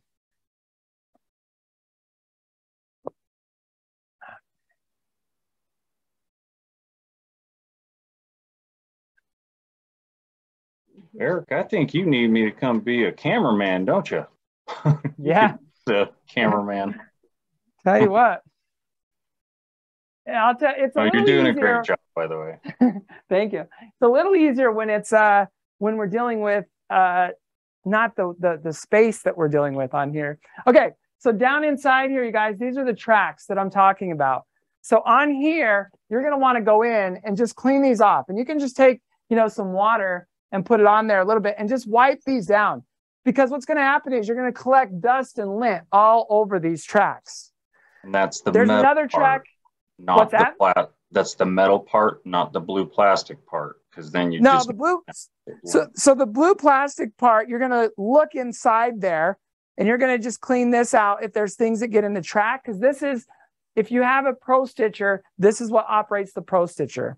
Okay. So you're going to clean. So you definitely want to inspect that and see. But on here, you're just going to clean this off.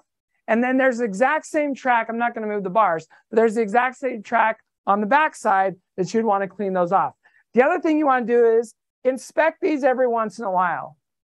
If you got little digs in here, like there's a little groove that's cut into there, it's going to show up in your quilting because you're going to have a wobble wherever it hits that. These can be replaced. You can get replacement parts for that. Um, you don't have to really replace them very often, but if you needed to, uh, it's available. The next thing that you'd want to do, let's just move this out of the way for a second. The next thing that you would want to do is do the same thing on here. You're going to clean this off. Now, I'll tell you where I find to be uh, the biggest issue, problem area is, let's move this guy over for a second. So there's a couple places, you guys. One of them is the wheels that are moving vertically, so front to back, those wheels. So you'll look at these and you'll find thread and junk that gets into these wheels. These are pretty clean. I wish they weren't so I could show you, but you'll find it on there. So the same thing, just take something, a little bit of batting, and I'm just moving the machine front to back and cleaning those out. All right. So you'll find that there's stuff on there. And then the next part, I'm going to slide this over, see if we can get you into a decent view of these little, little guys. But underneath here, there's the wheels that are underneath. So I'm going to zoom out so you can see what that is. So underneath the carriage, there's actually four wheels on the on the front and four wheels on the back. There's one here, there's one here, and then you have the same thing on that other side, and then you have the same thing in the back. So same thing, you want to clean these off. These I see all the time. They just get uh, like levels of, of, of dust that build up on that wheel. And then your, your machine doesn't have the smooth action that you always want it to have. So definitely take the time, you guys, you know, even if it's once every couple weeks or so, take the time to do that maintenance because it's going to make a difference and it's going to show up in your quilting if you don't do that. Okay. So let's get back to loading. And again, no, no harsh chemi chemicals on there. It, it, that's not required. Does anyone have questions on what I just talked about as far as that goes? Pretty easy. Okay. So let me get the bars back on really fast. Put those puppies where they need to go. And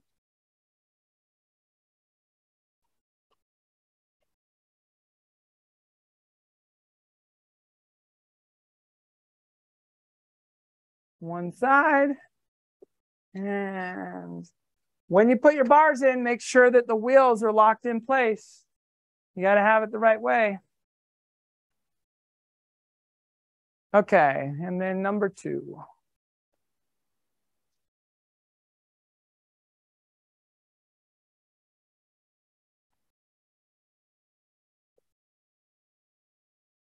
Okay, so back to what we were working with before. The first thing that I would do is I'm going to take my machine, I'm going to slide it out of the way. So I'm going to move all the way to one side of the table.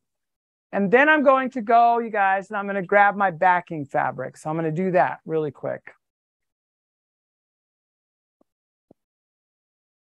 And this is what I have for my backing. Oh, got a lot going all over on me. Okay, so I've got my backing. So what I'm going to do with my backing is I'm going to now take my backing. Not sure uh, what they gave me to work with. Let me look and just see if they gave me a lot widthwise or what. Yeah, they did. Okay. So I'm going to take this and I'm going to spread it out this direction. So I'm going to go with my backing and I'm going to find the center spot. And I'm going to find it in both places, top and bottom. Okay.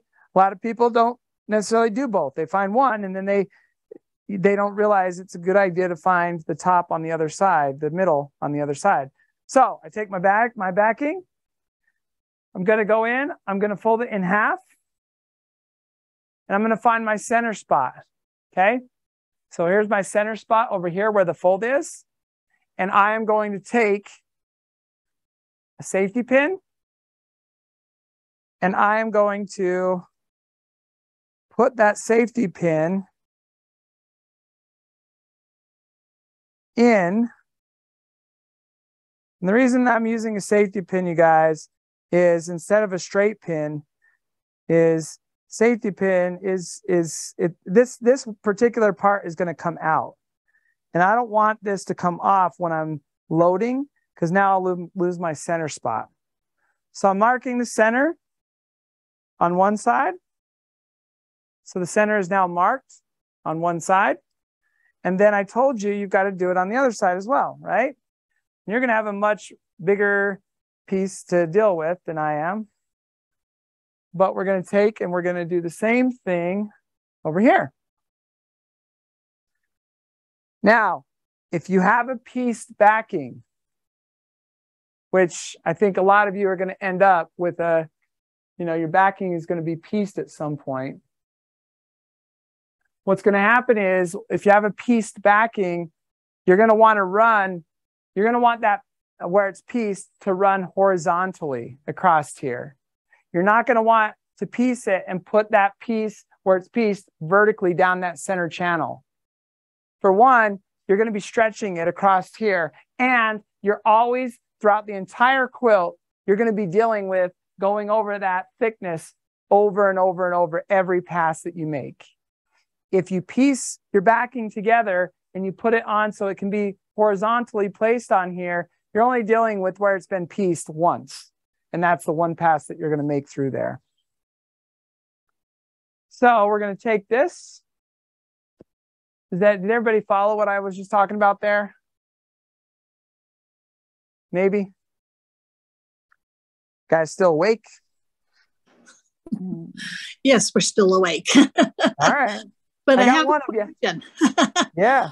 When does it affect like sometimes i'll piece my backings and have them pieced in several places and one will be the vertical and what vertically. Will that yeah. affect um, the winding of the quilts onto the take up bar and affect the uh, tension? It doesn't it, it, it can it can affect the tension a little bit. It doesn't affect the winding of it so much. Now um, we're talking in ideal situations right when we have control over this but sometimes that's just the way the backing is yeah. And so if if it's pieced down the center and or it's pieced in multiple spots, that's what you're working with and that's okay. I'm just so you're, you're going to be fine. You just have to be understand that that area is going to be there to deal with the whole right. time that you're quilting. And as long as you know that and, and understand that when you get into all of a sudden inconsistencies, right? The goal is to keep everything consistent. Because if right. you keep everything consistent, your quilting stays consistent. But let's let's talk real world for a second. Piecing is not consistent. It's not always mm-hmm. consistent. Mm-hmm. And so definitely on the front, there's nothing you can do. It's pieced all over and there's all these seams. So my my only my only uh, suggestion would be when it's possible, try to keep that that seam um, horizontal. Does okay, thank you. Yes. You okay, so I've got I've got my pins in, and I marked my center. So again, this is my backing. So what I do, you guys, is I take my fabric and I say, all right, how do I how does this need to actually be um, when I take it off of the frame? Well, if this was a quilt or a blanket or whatever, it's going to be a quilt. We won't call it a blanket, but I would take and I would need the back facing down, right? So I just throw it all over the top with my back of my fabric facing the floor. Everybody with me? That's how you would have this is if this was an actual quilt, which it's going to be um, on here. So with that said, the next thing I'm going to do is I'm going to come up to this front rail. Now, there's two ways that you, that on the Moxie, you could set yours up to where this is the backing rail or this is your um, top rail. It all depends on the side how you set those up in the instructions. So I'm going to show both methods so everybody's understanding how this works. Okay. So what I would do is I would then go into here and I would take this and I would line up right here. I've got my mark. So I'm going to line up my mark with my center of my, my pin. So when we zoom in, you'll see that. And then I use my straight pins after that. So there it is. There's our safety pin. And I'm going to grab my straight pins because they're here somewhere. So if you've got like a, uh, you know, a pin cushion to put those onto, that's great. So I'm going to take my pins and now I'm going to get my first one in. So it's lined up. You can see my safety pin is there. So I'm going to get my first one just lined up, safety pin and my mark. They're both right there. I'm going to mark, I'm going to get that one locked in. So I've got a pin on the side of that. And once that pin is in place, I can now take out the safety pin. So the safety pin is going to come out. I then go in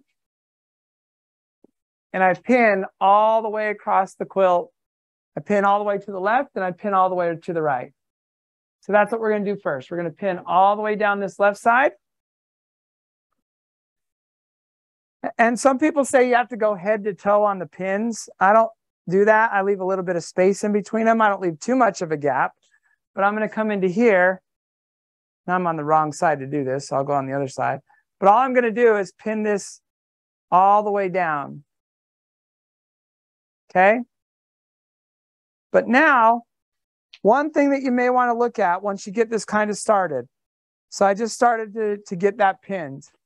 What I would do next is just to verify because I, I only, and you want to do it now because I only have the two pins that are in here. So I've got my, my, uh, right there is my center point. Okay. So my center point, I'm now going to take, and this is what I'm going to do. I'm going to go off that center point and I'm going to just measure on here all the way out to this edge. So I'm measuring from center. So from the center point, I'm going to take and I'm going to measure from the center out. So I'm going to go into here and I'm just going to measure across as I'm bringing this and I'm going to get my measurement. So my measurement is showing right now, when I come all the way out to to the edge, it's sitting right about 50, little over uh, 54 and a half inches. Before I go too far, I am now going to measure from center out to the other side. And we are going to verify that we are also going to get 54 inches. Okay? So when I come into here, I'm going to go center out. And I am at 54. The other one must have been 54 and a half. Is that right? Because this one's 54 and a half. Said 54 inches, but now I'm second guessing. Yep, 54 and a half. So 54 and a half both ways. So now I know I'm, I'm, as, I'm as exactly in the center as I need to be. And some people will even take and they will pin that side. Let's say it's on this, this first side. Once they get started, some people will go and they'll, they'll drop a pin over here. So they'll kind of take their leader cloth and they'll just get it into here and they'll drop a pin and this edge, and then they'll work their way out back towards it. And the idea is that way they're not forcing their or stretching their quilt. They're backing across. Now on this one, a lot of times you weave it multiple, uh, get it through there as many times as you can, just weaving that pin in and out. And that's going to secure this side in here. And from now, so now I'm going to go in and I'm going to pin all the way across this way and all the way across on that other side. So that's going to be my next little move in here. Now, some of you are going to just go in and you're going to you're going to stitch that in. So that means you're going to take it on your home sewing machine. You're going to pull the leader off and you're going to baste it um, with your sewing machine and then walk it over and you're going to hook it back in with the Velcro. Now, everybody everybody has their their way of doing things, whatever works for you. And so I'm just going to cruise through this. And a big part of this is let's not try to stretch our fabric as we do this. So we don't want to stretch our fabric um, as we're pinning.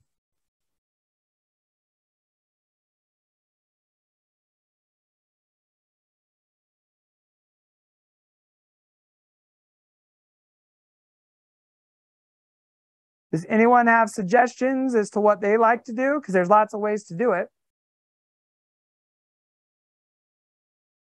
And I do think that's an important uh, point to bring up right now. Everything that I'm going to teach you guys uh, in this class, it's it's the way that that I do it. It's the way that a lot of people do it, I guess, but it's definitely the way that I do things. Um, but it's not the only way. So if there's something that works for you, and it's it's consistent, then I would say keep it up. Because that's really what you want out of this is you just want some real consistency. So on the Moxie, it works the exact same way. You're just going to do the same thing. And again, all this is just technique right now. Everything that we're doing is just our own technique. Yeah.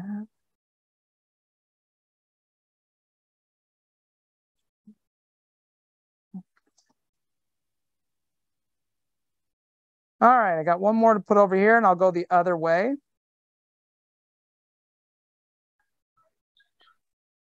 Eric? Yes. This is Connie Collin. I have the Moxie. How yeah. important is it that my leaders are not on straight? You know, like um, one end, one end's got more leader than the other end. It's it's more important. You mean left to right? They're not on straight yeah, right at the ends, there's maybe three inches on one end and an inch on the other. Do I need to take those off and re-put them back on? No, I think the most important thing, Connie, is mark the center pole because the pole is still the same no matter what. Okay. So mark the center pole and then mark your leaders in the center as well. Okay. And and mm-hmm. what that may mean is when you mark them in the center, yeah, it's probably going to be further on one side, is what you're telling me anyway, because your leaders are bigger. Is that right? Yeah. So when it only one of them is off, let me try and follow this really quick. No, they're all four different. Okay. So all four of your center marks, this is the real key. All four of your center marks have to be the same. Okay, so I all, need because you're going to be working from the center out anyway. So think about this. So even if my even if my leader cloth was wider one direction or the other, yeah. If if the center of my pole, right, is marked to the center of the leader, when I come out 54 inches this way, it's still 54 inches. Now, I might have seven extra inches of leader on this side, but I'm still only coming over 54, 54 and a half inches from the center, right? Yeah.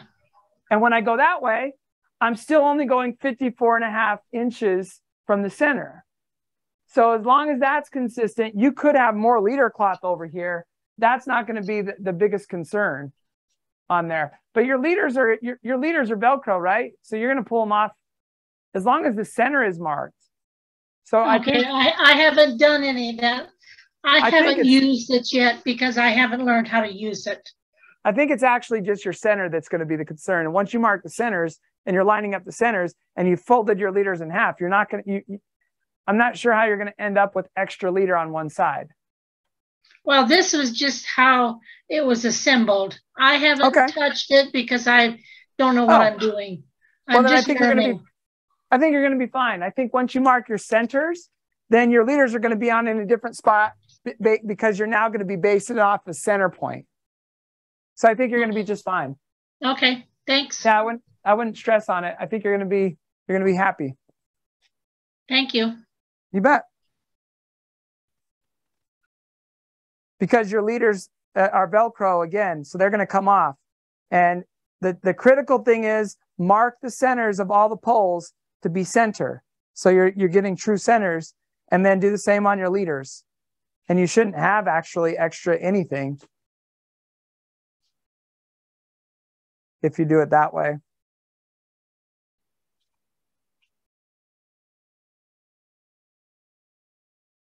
All right. So I'm just weaving you guys these pins in here. Now, I didn't do what I what I suggested before, which is so before I go too far, we're just going to take this and we're going to measure it off Eh, over here and we would put a pin in on this side. Okay? So I did measure it, but I'm going to assume we're good. Normally, that's where you would want to if you if you're going to do it that way, you would put the pin in in here too and again, that's 54 and a half on each. Now, your backing. So this is a this is something to make sure you take note of or remember. Your backing and your batting, they need to be at least at least three inches bigger, top, bottom, left, right. So three inches means six inches, really, because it's three inches on all ends. So six inches wider, six inches longer. than your top. So then your quilt top itself. So we need you to have six inches. So three inches on the left, three inches on the right, three inches on top, three inches on bottom. Some people like to go four inches. But what happens when you're quilting is your fabric is going to shift, it's going to move. And the last thing you want is for your backing and your batting to be the exact same size as your top. And believe me, believe it or not, your tops are not going to be perfectly square every time you put them on. You square them up at the end a lot of times. You're going to do the best you can is keeping them square. But last thing you want is for a little bit of your backing to be over here while your top is over here and offset. Okay. So give yourself a little bit of wiggle room to work that top into place. It's also going to grow in length somewhat, not really. I mean, it's going to get, it could get, it could get stretched. So all of a sudden, if you started at your, your backing and your top at the same spot, by the time you get to the end, it could be that you're based on just rolling the fabric and putting quilting into it, you could end up with your uh, top being longer than your backing. And nobody wants that. If your backing is longer or wider, it's going to be fine because you're going to square it off at the end.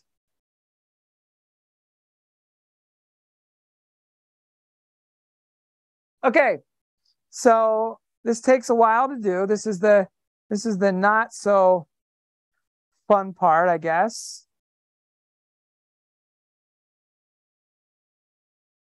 Um, you know, I've learned that it's probably best to let one person do this.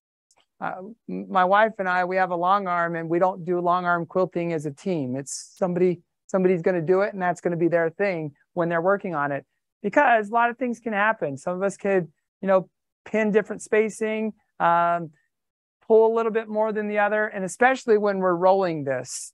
So now I'm just going to take my fabric, you guys, and I'm going to go in and again, this isn't wide enough angle, but I'm going to take all that and I'm going to get it clean now. What I mean by that is I'm going to get it laid out over the top of the this this bar in the back.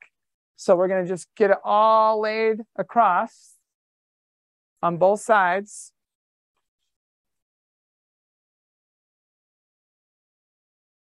So we're going to get it up onto there.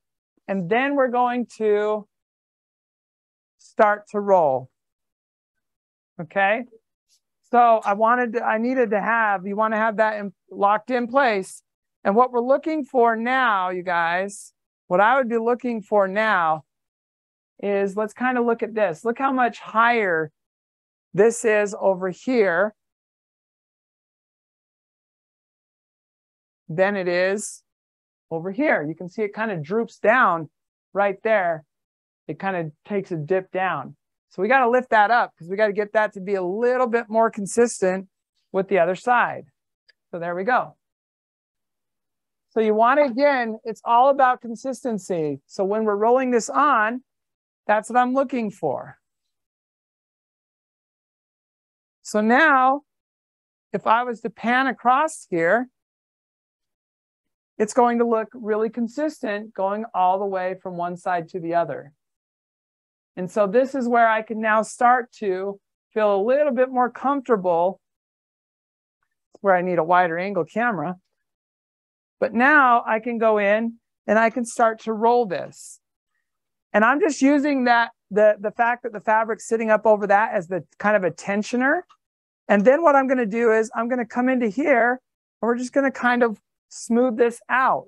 And this is where if two people are on here doing this, one of you might definitely be pushing a little bit harder and kind of not keeping this as square as you want it to be.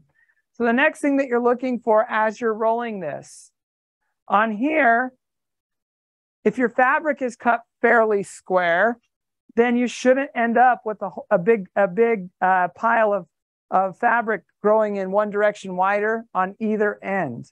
So you're just gonna keep going through and we're going to keep rolling this. Take your time to get this right, you guys, because getting this right is really going to be uh, what, what sets apart your quilting at the end of the day. And this is actually going on really nice and square. I don't have any extra fabric. So now it kind of went to the end. It naturally pulled over on its own. That's okay. And now I'm going to continue. And it's okay if this other one wants to roll um, or move the other rail. But you're just going to keep rolling on here. And you're going to keep smoothing this out.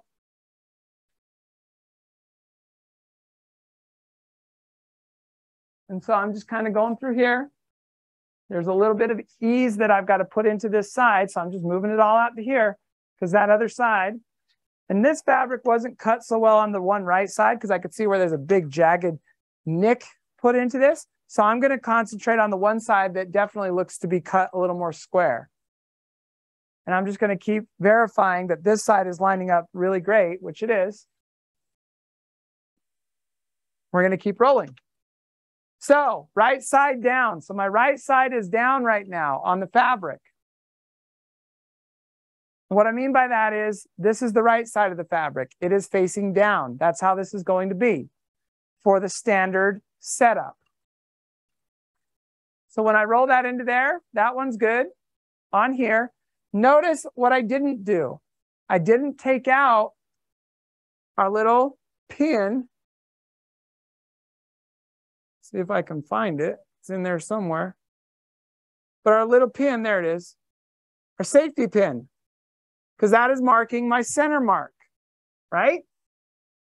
So I still have my center mark, center marked for later use. So we're okay on that. I could also kind of look at it and verify, you know, how's it going to look with my center up here? Well, here's where this one is. Here's where that one is. Pretty darn close. So the next thing that we're going to do is we are going to go in. We're going to do the same thing. We are now going to do it with the top. Okay? So we know what way it has to go. Has to face up. So this is my top. And what I haven't done yet, I don't have another safety pin. I think I only brought two back here. Um, but we're going to go in. Same thing. Now, is my backing going to be wider than my top? I have no idea because this is just what they had up here at the at the frame. They're probably the same size, but you, you wouldn't want that. You don't want your backing and your top the same. You want your backing three inches minimum wider on one side and then on the top as well, top and bottom. Safety pin, gonna drop that into here.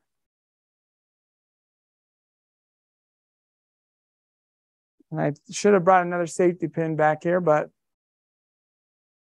I'll use a straight pin. It's not my preferred method.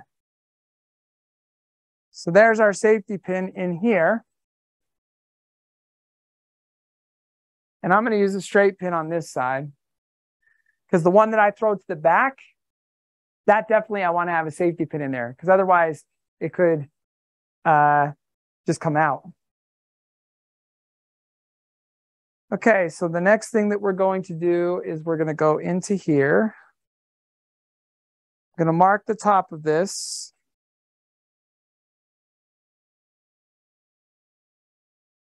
I'm getting dust, not dust, batting, because this was already hooked on the frame and they took it off the frame. So now I got batting all over me. The quilter's life.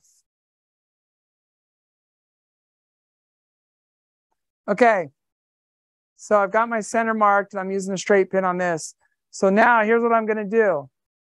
I'm to take this. We're to throw it over the top to the other side, right? On here. So we're just to take this baby. We're to toss it to the back. And the right side is going to be up this time. So right side's up. all the way to the back.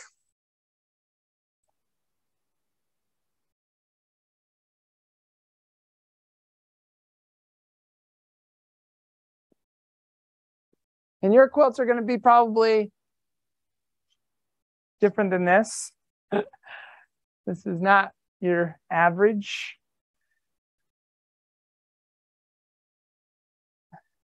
So we're going to get that just kind of up over the top. And the next thing that we're going to do is we're going to now find, which is what we need to do. We're going to go in and find our center spot, which is right here. So I've got my pin and my center spot. I'm going to use that straight pin. I'm going to go through this in the center. And we're going to measure next out. So I'm just putting the pin in, sorry. So the pin is in. And now I'm going to measure from the center out. Going to also grab a couple more pins. I just take the pins and I throw them like right onto there. So like I'll just grab a couple pins that I've got and you can just kind of throw them onto onto that top. So as you're going, you got some pins to work with. Other people do it more efficiently, probably with a pin cushion on their hands or on their wrist. So I'm going to measure out because we I didn't I don't know what these fabrics are. I didn't measure to see what the two were in comparison to each other. So we're going to look and find out real quick on here. So I'm going from, again, guys, we're going from the center and we're just measuring out.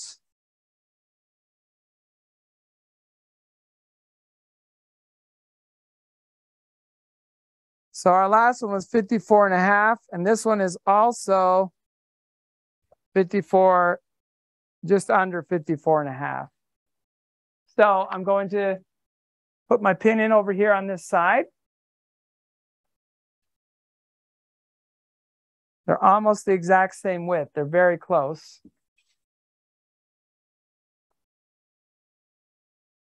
And then we're going to pin from the center out. So I'm putting one just in the side and then we're going to pin from the center out. Okay. So although this is kind of boring to go through, this really is pretty crucial. Getting your quilt on there makes a big difference, getting it on there the right way. Uh, I told you I usually float, and that means at this point, I wouldn't actually be pinning my top fabric. So when you float, your fabric. Floating is a technique. And what that means is you're going to pin your backing and get it all set up, but your top fabric is going to just be pinned only to the take up rail. And even then, maybe it's not pinned. Maybe you just basted it onto there. Does anyone have a preference on floating or non-floating? Anyone tried it? Not yet? Floating, floating is hard. Floating is hard. That's that's what my granny says. I believe her. I feel like yeah. I have no control of my quilt top if I float it. Okay. I always, I always float. I like floating the best. We got a pro in here. Cool. Yeah. Well, so what happens is it, it really is very personal as to what works best for you. I'm and I'll show you guys what I do when we float. Um, because I have I have the the experience with floating of the opposite where I feel more in control. And you know, it's again, it's preference because I have other quilters, they don't float anything ever. And for that exact same reason, they feel like they have less control. So we'll show you the technique. And then, you know, at least technology isn't there today to where I get to sit and watch everybody doing things from my perch on high. So you guys can do whatever you want. I'm not going to be there. I won't know.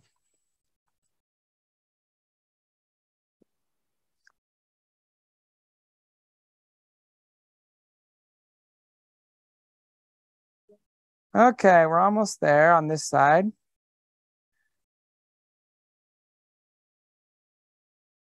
So this is me not floating, of course. I'm short one pin. I was close. Close on my count.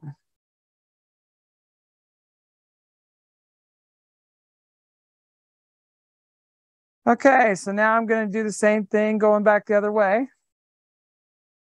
We're going to take a pin with us because we're going to measure.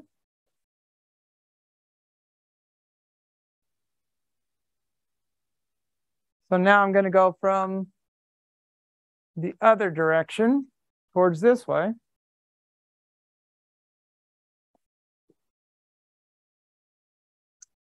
We're just going from the centers out.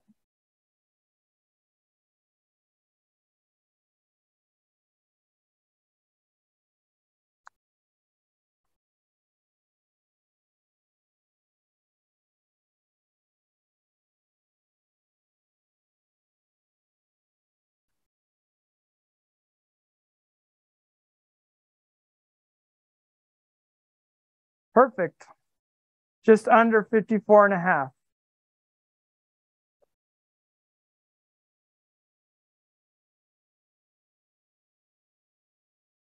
So now I'm going to pin this side in, move back to the center, and come from the center out.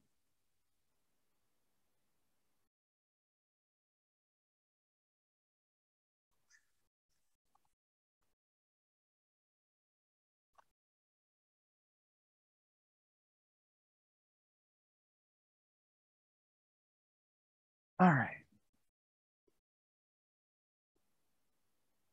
So I'm just dropping a few pins into here.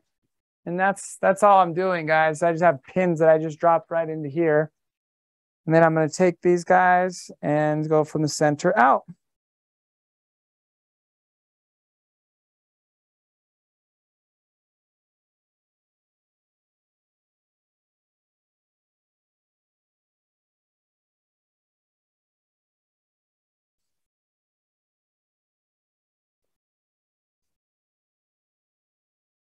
Think next time I'm going to take another camera and put it on that side facing me because sure it's awkward for you and it's awkward for me to not be facing you guys.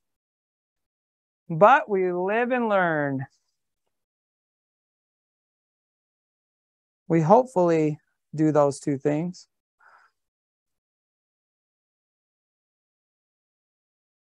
As we come across, we're almost to that edge. And then we're almost to the, the well, we are getting to the final stages for sure. I am just off on my count by one. I'm one short again. Got two left, and I'm going to need a third. I must be out of practice. Haven't been haven't been doing enough quilts lately too many other things. So that brings me to something that what what's that? So you're you're still way faster than me. I tried that for the first time two days ago or something. Yeah. it takes some yeah, getting, it gets, it gets to be some work, right? Oh yeah. I'm amazed at how much uh, skill this stuff takes.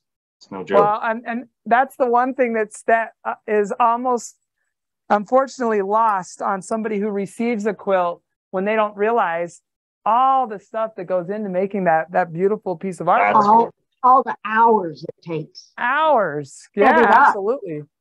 That's absolutely. We were just calculating how much uh, it would cost for a basic quilt and and yeah, people do not realize how no. valuable it really is. they have no idea. It's a heck of a skill. Oh, absolutely. So we have coming up one thing that I should mention, because um, my wife and I just got back from, well, we did Bernina's convention. Um, actually, we did Handi Quilter's first, and then we did Bernina's, and then we went to, um, after we did Bernina's convention, we went and did Brothers, and then we've got Baby Locks coming up um, at the end of this month. So we're doing a, we always do this every year. We do what's new from convention. So it's called, it's just what's new event. You can go onto our website, which is nuttallbernina.com. And it's Nuttall, not Nuttolls, just Nuttall, two T's, two L's. So nuttallbernina.com. And you can uh, look at the different dates because we do it in each of the locations and it's it's no charge but what we do is we show you all the the new products that are coming out um, and it's some of the products you won't see until next year. Uh, they're slated for early 2023 but it's kind of fun to come and see some of the new things that are that are available and you know just kind of keep updated with the with your craft.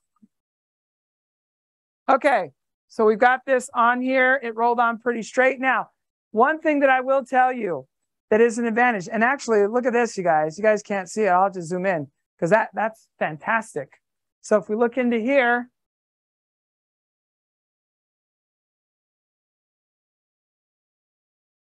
those are our safety pins.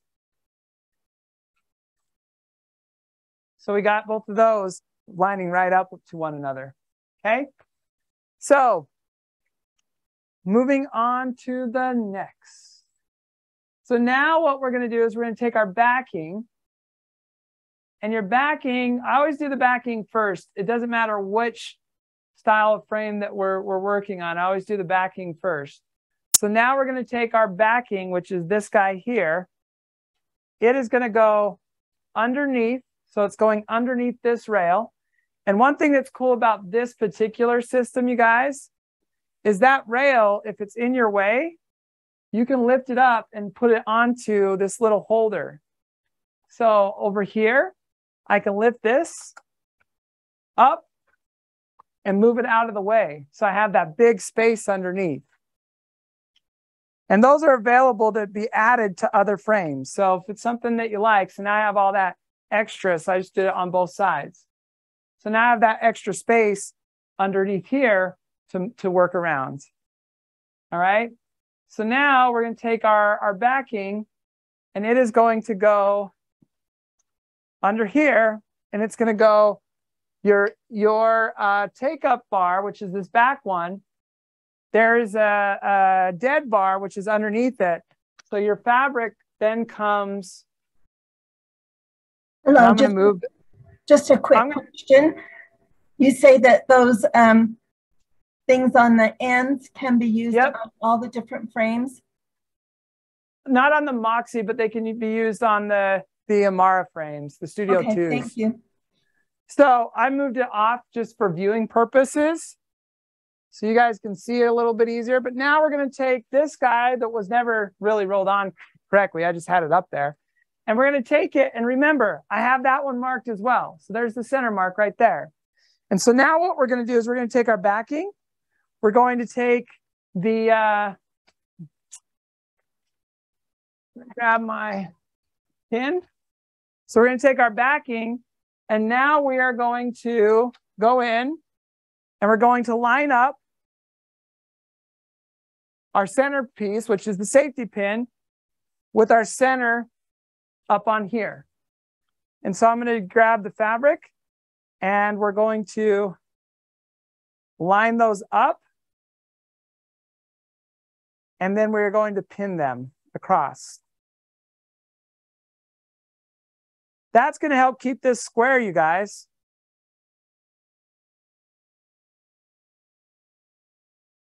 So now I've got that pin in there. I can take this guy, the safety pin out.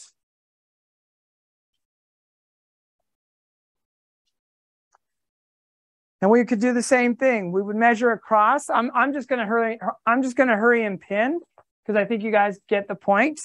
But I could go into here. I could measure center out measure center out and pin the other directions, right? Put a pin on each end, just like we said before. Um, I'm not going to measure. I'm still going to put a pin over there, but I'm not going to bother with the measuring. And here's one thing that's really cool. When you guys, one thing when you're loading, like I just have plain fabric, but when you're loading your quilts and you've got those piece tops, you're going to have very direct lines, meaning straight lines.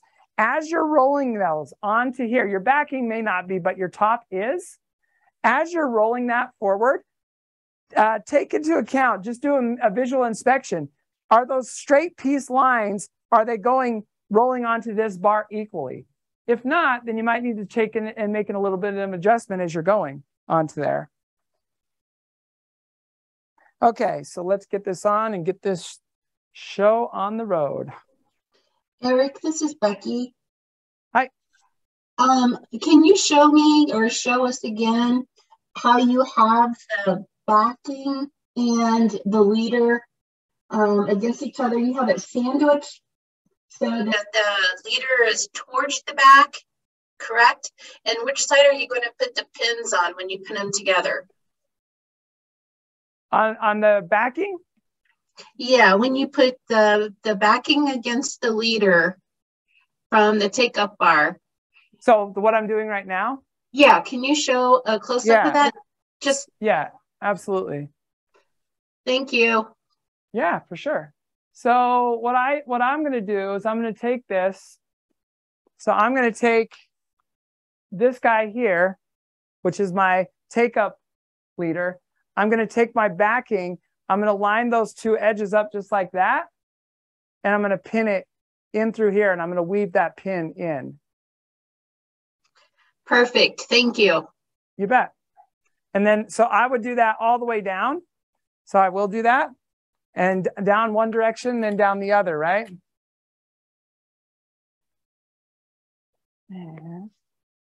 Can't really throw the pins onto this one because there's nothing holding it now. So I just kind of put some in there. But yeah, I'll just continue all the way down this guy.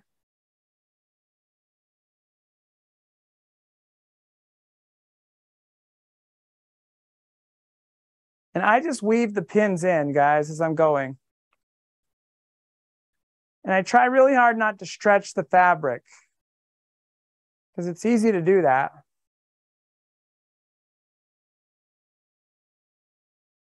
And especially if you're working with Minky. So my cousin, she's the head golf coach for the women's uh, team at Tulsa, so the University of Tulsa.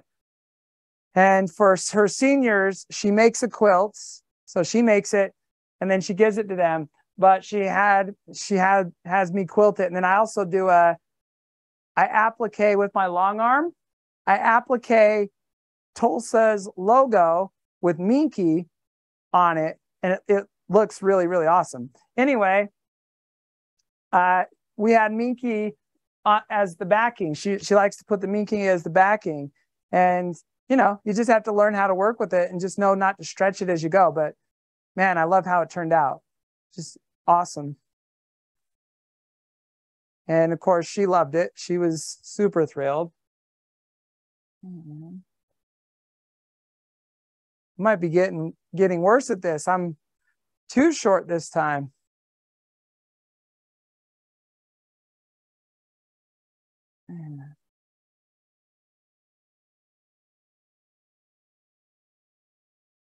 All right. Actually, I'm not. I'm only one. I'm still, I'm still I'm still still in the game. One off. All right.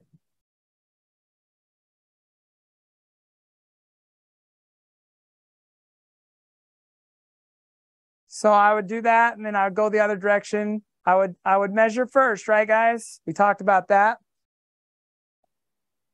So I would I would now measure that way and I guess zoom back out. So I, I would measure, make sure that I'm still square going on this direction. Measure it, pop the pin in on the on the other side, come back to the middle, and start to start to pin.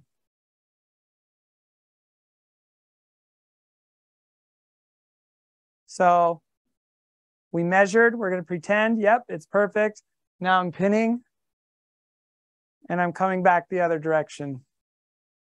So that's in there. And now I can come back this other way.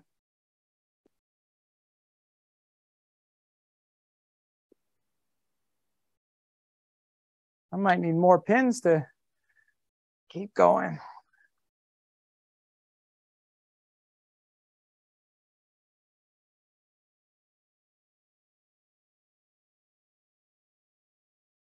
Have any of you guys done uh, quilted with Minky as the backing?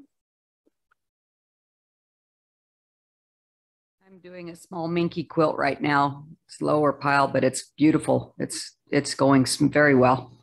Awesome. Yeah, I love it. Uh, go ahead. I'm backing quilts now, and minky is not my favorite. I love the feel of it, but I hate quilting it. You hate quilting it? What happens? Just so I, so I have an idea. Just too much fuzz from it. Yeah, there is that. That that can happen. A lot of certain brands, when you cut it, it just starts instantly. Other brands, not so much. Yep. I was just gonna say what I found is Shannon Fabrics. That's the Minky that we pretty much exclusively buy for that reason. So we we pretty much do Shannon uh, Cuddle. They have quality wise, they're, in my opinion, they're easily the best quality. They're more expensive, but not by much. You're not paying a lot more for it.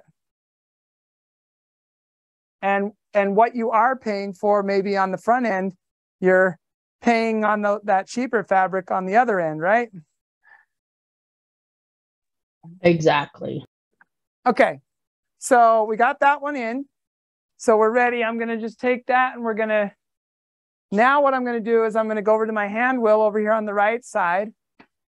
And we're just going to work that through. Now on the Moxie, you don't have a hand wheel like this, but you have the rail. So you just go into there. You always want to engage this guy just so you're, just to make sure that you're, you're uh, rolling it in the right direction. So as we get that in there, I'm just going to roll this up and kind of get it up towards maybe, eh, maybe eight inches or so from the top on there. And now we've got our backing on here. And something that I'm finding out right now, and I'm glad that I know this now, is if I look at this, you guys, and you can't see it the way that this is. So let me just show you. This fabric was definitely not square coming in. So the nice thing is I can make my adjustment. That's the right side, but watch as I move from the right to the left. Look how it just wants to sag all the way down. So what I'm going to do, go ahead. I noticed that before you panned around. I know it looks yeah. a little off. Yeah, it's well, and it's not cut straight for sure. So now what I'm going to do is I'm going to I'm going to make that adjustment right now by just going through and recycling these pins to where this is now going to be sitting more at the right level. So I'm going to have fabric, extra fabric up on top of that other side. Okay. So there's going to be a little bit more fabric sticking up over this other edge. So I'm still just reaching through, finding that the, the leader. So I'm popping it through that leader and coming through here. But now I'm going to have a little bit, like I say, just a little bit of fabric that's that's kind of pulled up through there.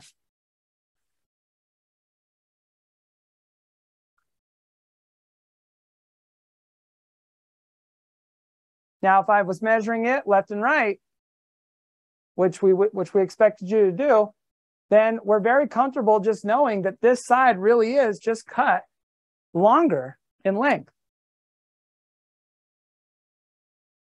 So we're still we're still going to be square when it's all said and done.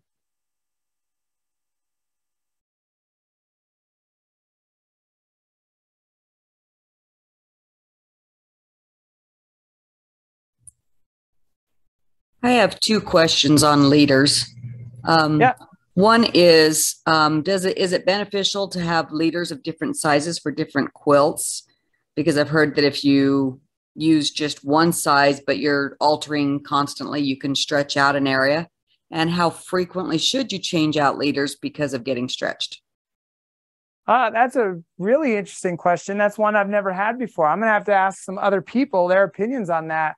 Um, because my opinion, my the leaders that we're working with, I've not. I mean, I've had the same machine for ten years, same leaders, so I haven't had that issue. Um, there are different sizes of leaders. So some people will get a super leader, which which we can pull up and show you on there. That's a longer leader that comes forward more. I like that because you're not having to reach over as far to get to your fabric. But as far as needing multiple sets, the only reason I, uh, the only thing that I could think of, minus that possible stretching, because I've not ever heard of that yet. I'm not saying it's never happened, but um, I do have some some clients that have multiple leaders because they have multiple quilts that they're putting on and off the frame at, uh, at any given time. So they want to have multiple leaders so they could take and if they're sometimes, especially when they're doing, if you have somebody like I do a lot of more automate work with automation. But if you if you're going to do custom quilting, there's times where you just kind of fall into a maybe a little bit of a, a creative block, and you just want to get a quilt off for a second, or maybe you quilt for a living, a lot of that. And so what you want to do is you want to you got to get a quilt off so you can get another one on and finished in a time frame. So I have people that have multiple leaders for those reasons. And there's zipper leaders that we get from Bernina, um, and we put them on the handy quilt. There's five uh, zipper leaders that we use as well that really do a good job because that allows you to go in and you can you can just zip on and off a new a new top. So you just get it all prepped onto um, a little. I'll show you. So your leader over here would have one end of the zipper, and then this little guy here is another end of the zipper.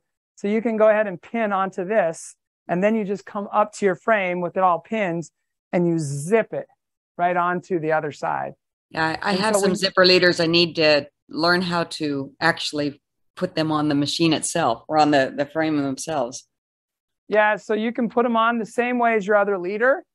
So you can use the Velcro because you have Velcro on yours right now, right? Right. So you can take the Velcro and you can get a, a Velcro strip because you can leave the same Velcro that's on here. Mm-hmm.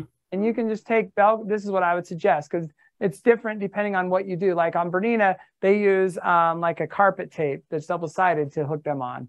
But where you have the Velcro, you could simply just take uh, the other side of the Velcro. So you can purchase uh, Velcro in that length, Mm-hmm. stitch it onto that, and then it just goes on the same way as what you already have. And then what do you do to stitch the, because mine doesn't have the zippers attached to the leaders themselves.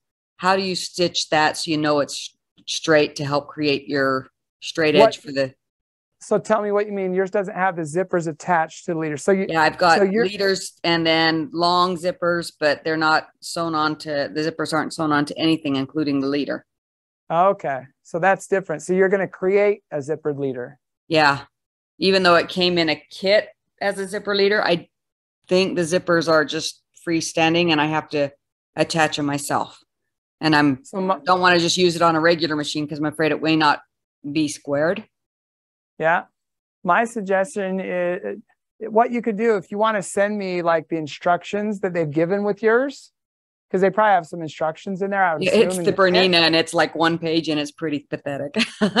Well, the Bernina, the, the, the, the zipper is attached. I'll have to pull it apart. I haven't really looked at it because I've Yeah, the Bernina, the, the zippers are already attached. You don't have to do anything with it. Okay.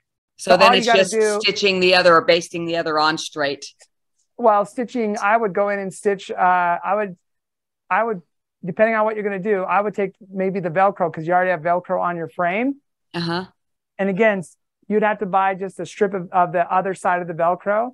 Uh-huh. So, and then go in and stitch that onto the Bernina leader, the opposite of the zipper. okay. Because the zipper is going to be coming out to the front right here. Okay.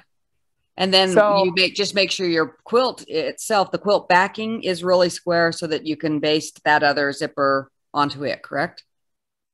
So what you're going to do is yes. So you may want you you may want to. Here's what I would do.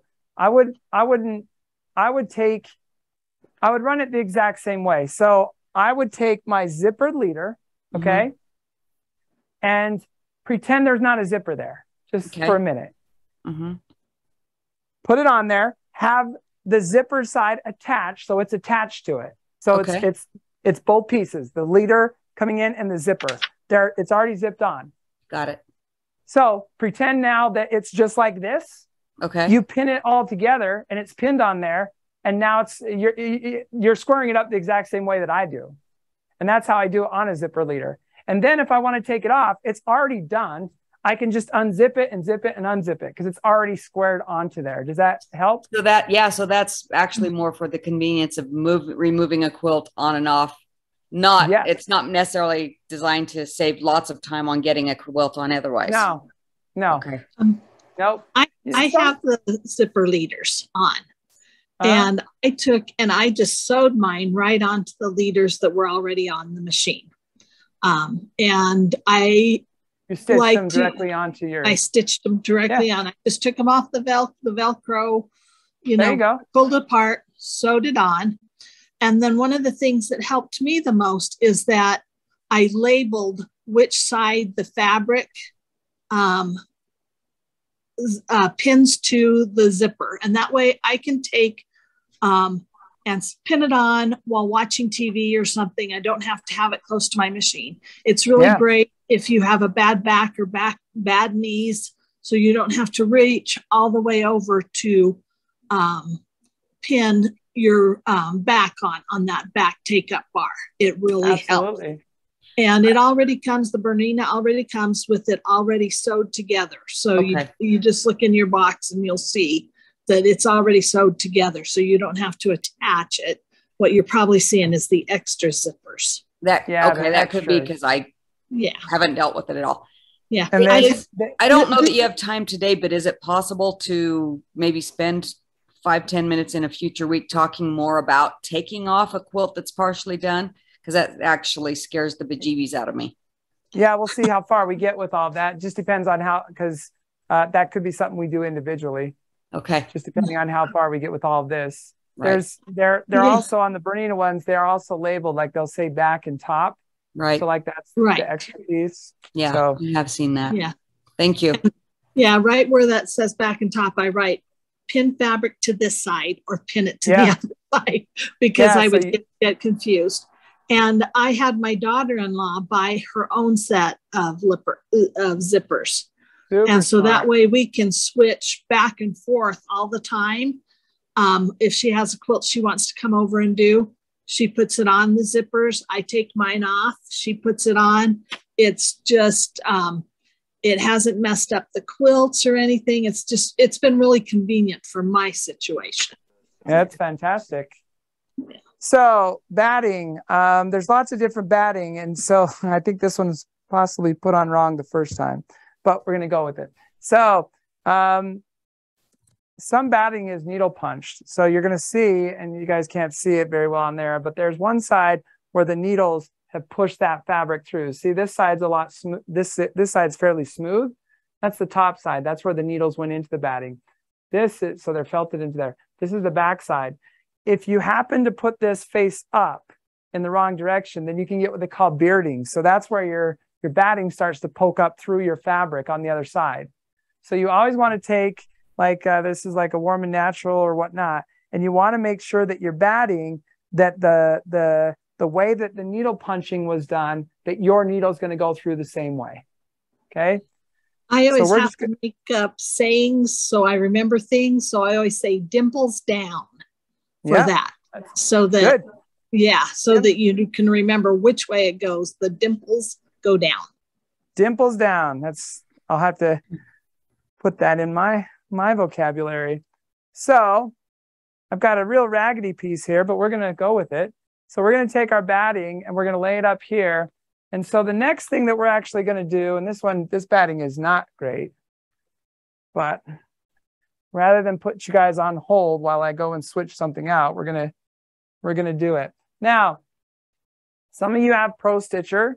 Some of you don't have Pro Stitcher. If you don't have Pro Stitcher, um, ProStitcher is the automated system, then what you may want to invest in is channel locks. So channel locks, you guys, are, yeah, this one just feels not right. Channel locks um, will go in and you can put them, you can connect them to your, on your wheel um, of your carriage to lock it in place into one spot. Um, if you have Pro Stitcher, which some of you have that and you'll be sticking around with me a little bit longer to go through the other classes, um, on your Pro Stitcher, there's a feature that you can turn on that does the horizontal or the vertical channel lock on there. So we're going to take how this thing is beat. So we're going to take you guys, and the next thing that I'm going to do is I'm going to go in so this would be underneath here. And then my other, which is my top, which I put on the floor here earlier to get it out of the, so you guys could see actually, is going to get put back into place where it was. So on a standard frame, this is how the top is going to go on. So I took my batting. I have my backing first. So backing first. My batting went all the way up and all the way to the take up bar.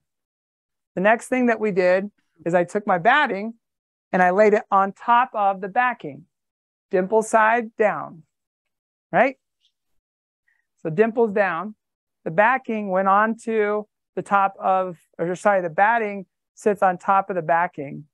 And now what we're going to do is we're going to take, which is our top, which is right here, and we would bring it up and we're going to match. And it actually, no surprise, you guys can't see it, but here's the center. And here is the center mark on my leader. So they match perfectly. So after all of that, everything is matching exactly how we expected it to be. But, and that's all I needed to find out because I'm actually not going to pin this to here.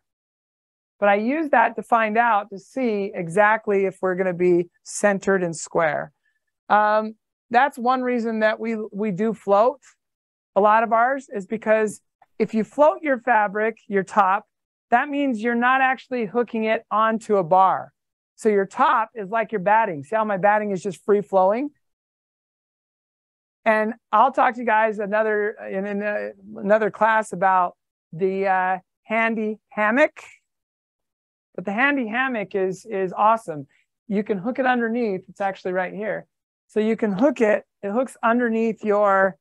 Uh, it hooks on your your um, bars on here, but it goes underneath, and it's a hammock that all of your batting and everything can just sit on. Especially if you're floating your top fabric, it's great as well. Excuse me, on there. So if I was floating my fabric that means because it's not connected to anything, I can constantly make adjustments to my top fabric if need be. So that's where we find that to be pretty useful. So we'll, we'll show that and talk about that just uh, in another little session.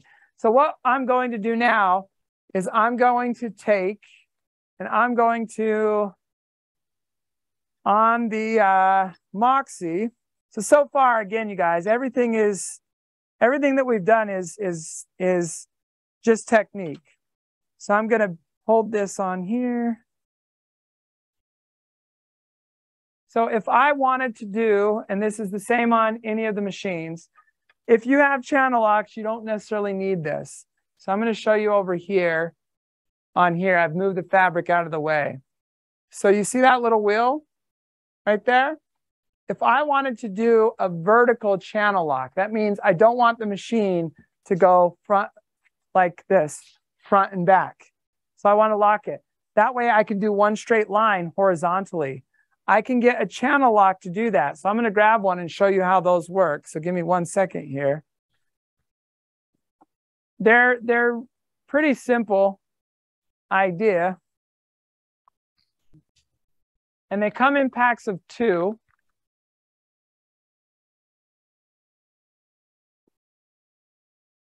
And so we're almost done here. I know that we're bumping up against our time slot, but so we're going to take this little guy here. And then all we're going to do is open it up and put it over the top of that, that little wheel on there. And that's it. So now if I try to move it front to back, I could force it, but it's just going to stay in one spot. So now if I was going to quilt, for instance, on here, right, on this quilt, what's going to happen is the machine is going to just stay on one straight line as I go from left to right or right to left. It's not going to move forward or back. All right. So channel locks are are pretty big deal. Um, they're not that expensive either. So, and again, it comes with two because you could also do a horizontal channel lock.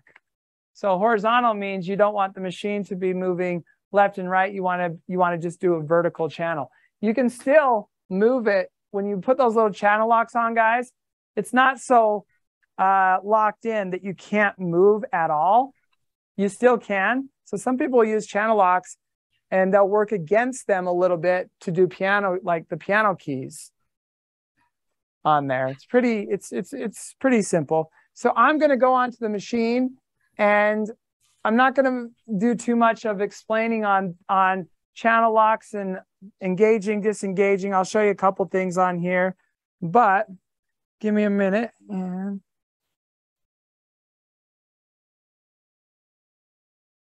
I'm dragging something. I think I put a bunch of accessories on the back of that table and now I got to go back there and get them off before we go too far. Mm. Oh, it's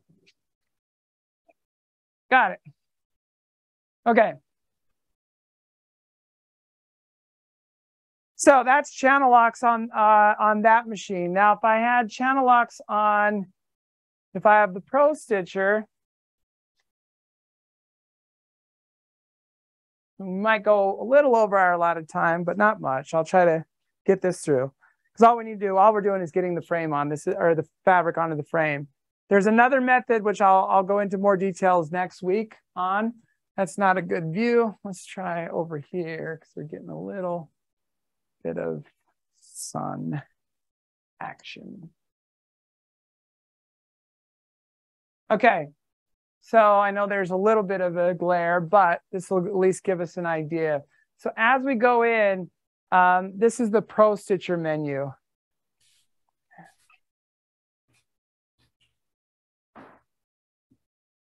Let me see, I'm trying to get rid of some of the glare that just came in through the window.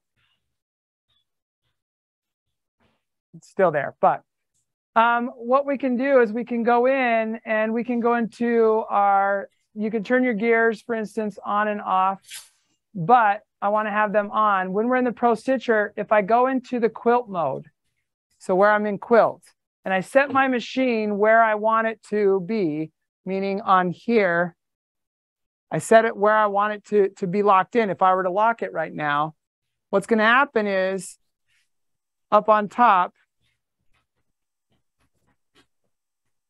there's a spot that says channel lock. So right here, it says channel lock. So I'm going to engage the channel lock. And then it's saying, which one do you want? Horizontal or vertical? Okay. So if I do a horizontal, then what's going to happen is I can move my machine. It's locked in. So I can move it left to right, but I can't really physically move it front to back. It's locked in. Sorry. I'm like not paying attention over here. So right now I can move my machine, you guys, on here, it'll move left to right. But if even if I try to pull it front to back, I could force it and you'd hear, you'd hear it going, you'd hear it slapping against the gears. The gears would be hitting against that blue track on there. So now that I have a channel lock engaged on there, what I can do is run a plumb line or a line across. So, so from the center out.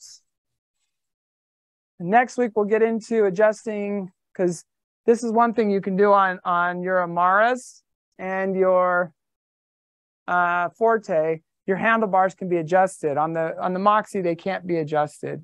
But now I could go in and I could do a stitch that just goes um, across here.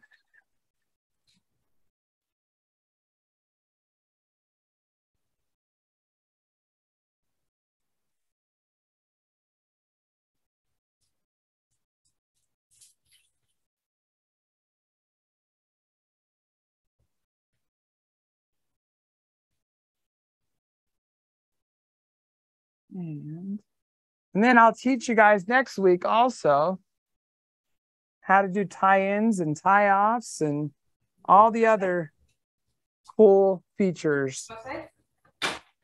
But right now, I'm just drawing up my thread and I'm going to clip that.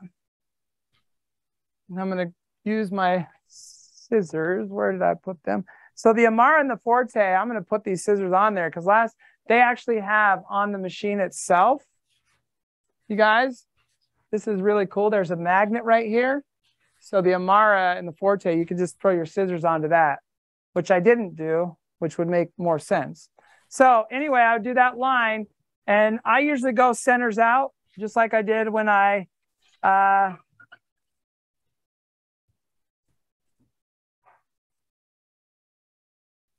when I pinned,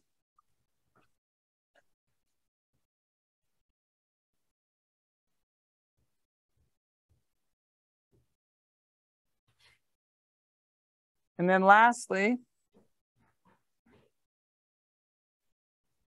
pull that over.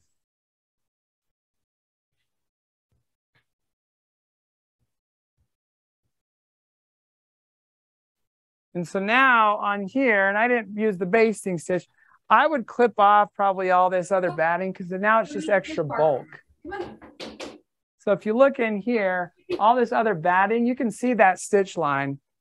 So now I've got a stitch line down in there and it goes all the way across. So it's a little hard to see on the angle. I'd get rid of some of that batting that's up on top. So I'd cut that out, but you can see that line that's in there. So you guys see that right there, that stitch line? So those that's thread. So now what I would do is I would take my top and it's my center is still marked there. And what I would do is loosen up the sides so I could grab my top and I'm just going to take my top and I'm going to line it up to the line that goes straight across here.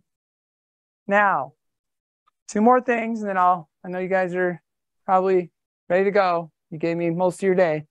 Um, so what I do is I would get those line those tops lined up. So let me do that real quick. And not everybody does this next thing, but I'm going to tell you that it's what we suggest, and then you're going to decide to do whatever you want to do because it's your machine and it's your quilts and all those fun things.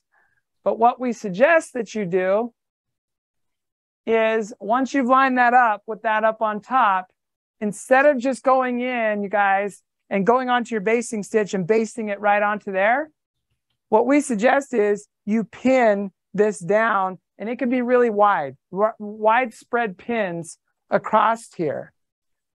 Okay. And then pin it across that way. Then use your basting stitch and stitch it across here. What I'll do is I'll try, I'm going to leave this in this position. Um, and then I can show you guys next week the remainder of that. That way you guys don't, aren't getting held after class. But we'll get that squared away. Um, and then what I like to do also, the last finishing part is I would baste down the sides. So over here even, I would baste down the sides of on there to keep that locked in with the basting stitch. So next week, same time, um, you can use the same link. I'll send out a reminder, but if you can't find the reminder or you don't get it, you can just use the exact same link to come into the class, same email. And what we'll do is we'll start getting into settings in your machine, basting stitches, length.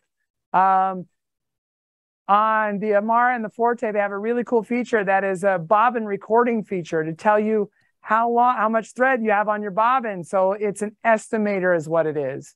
So we'll teach you how to use that because most people have it and they have no clue what they're doing with it. So we'll go in and we'll teach you how to use that. Talk about lasers. Um, yeah, and we'll we'll keep this party going. All right, thank you guys. Hopefully this helps. We'll get uh, the recording. I'll have that. It usually takes a couple days, probably be first of the next week before that that recording gets published. So once I get all of that taken care of, I'll publish. I'll send out. I'll probably send out the, the reminder and the the link at the same time on there. But if you guys have individual questions, let me know and we'll get you taken care of. Thank you. Thank you. Thank you.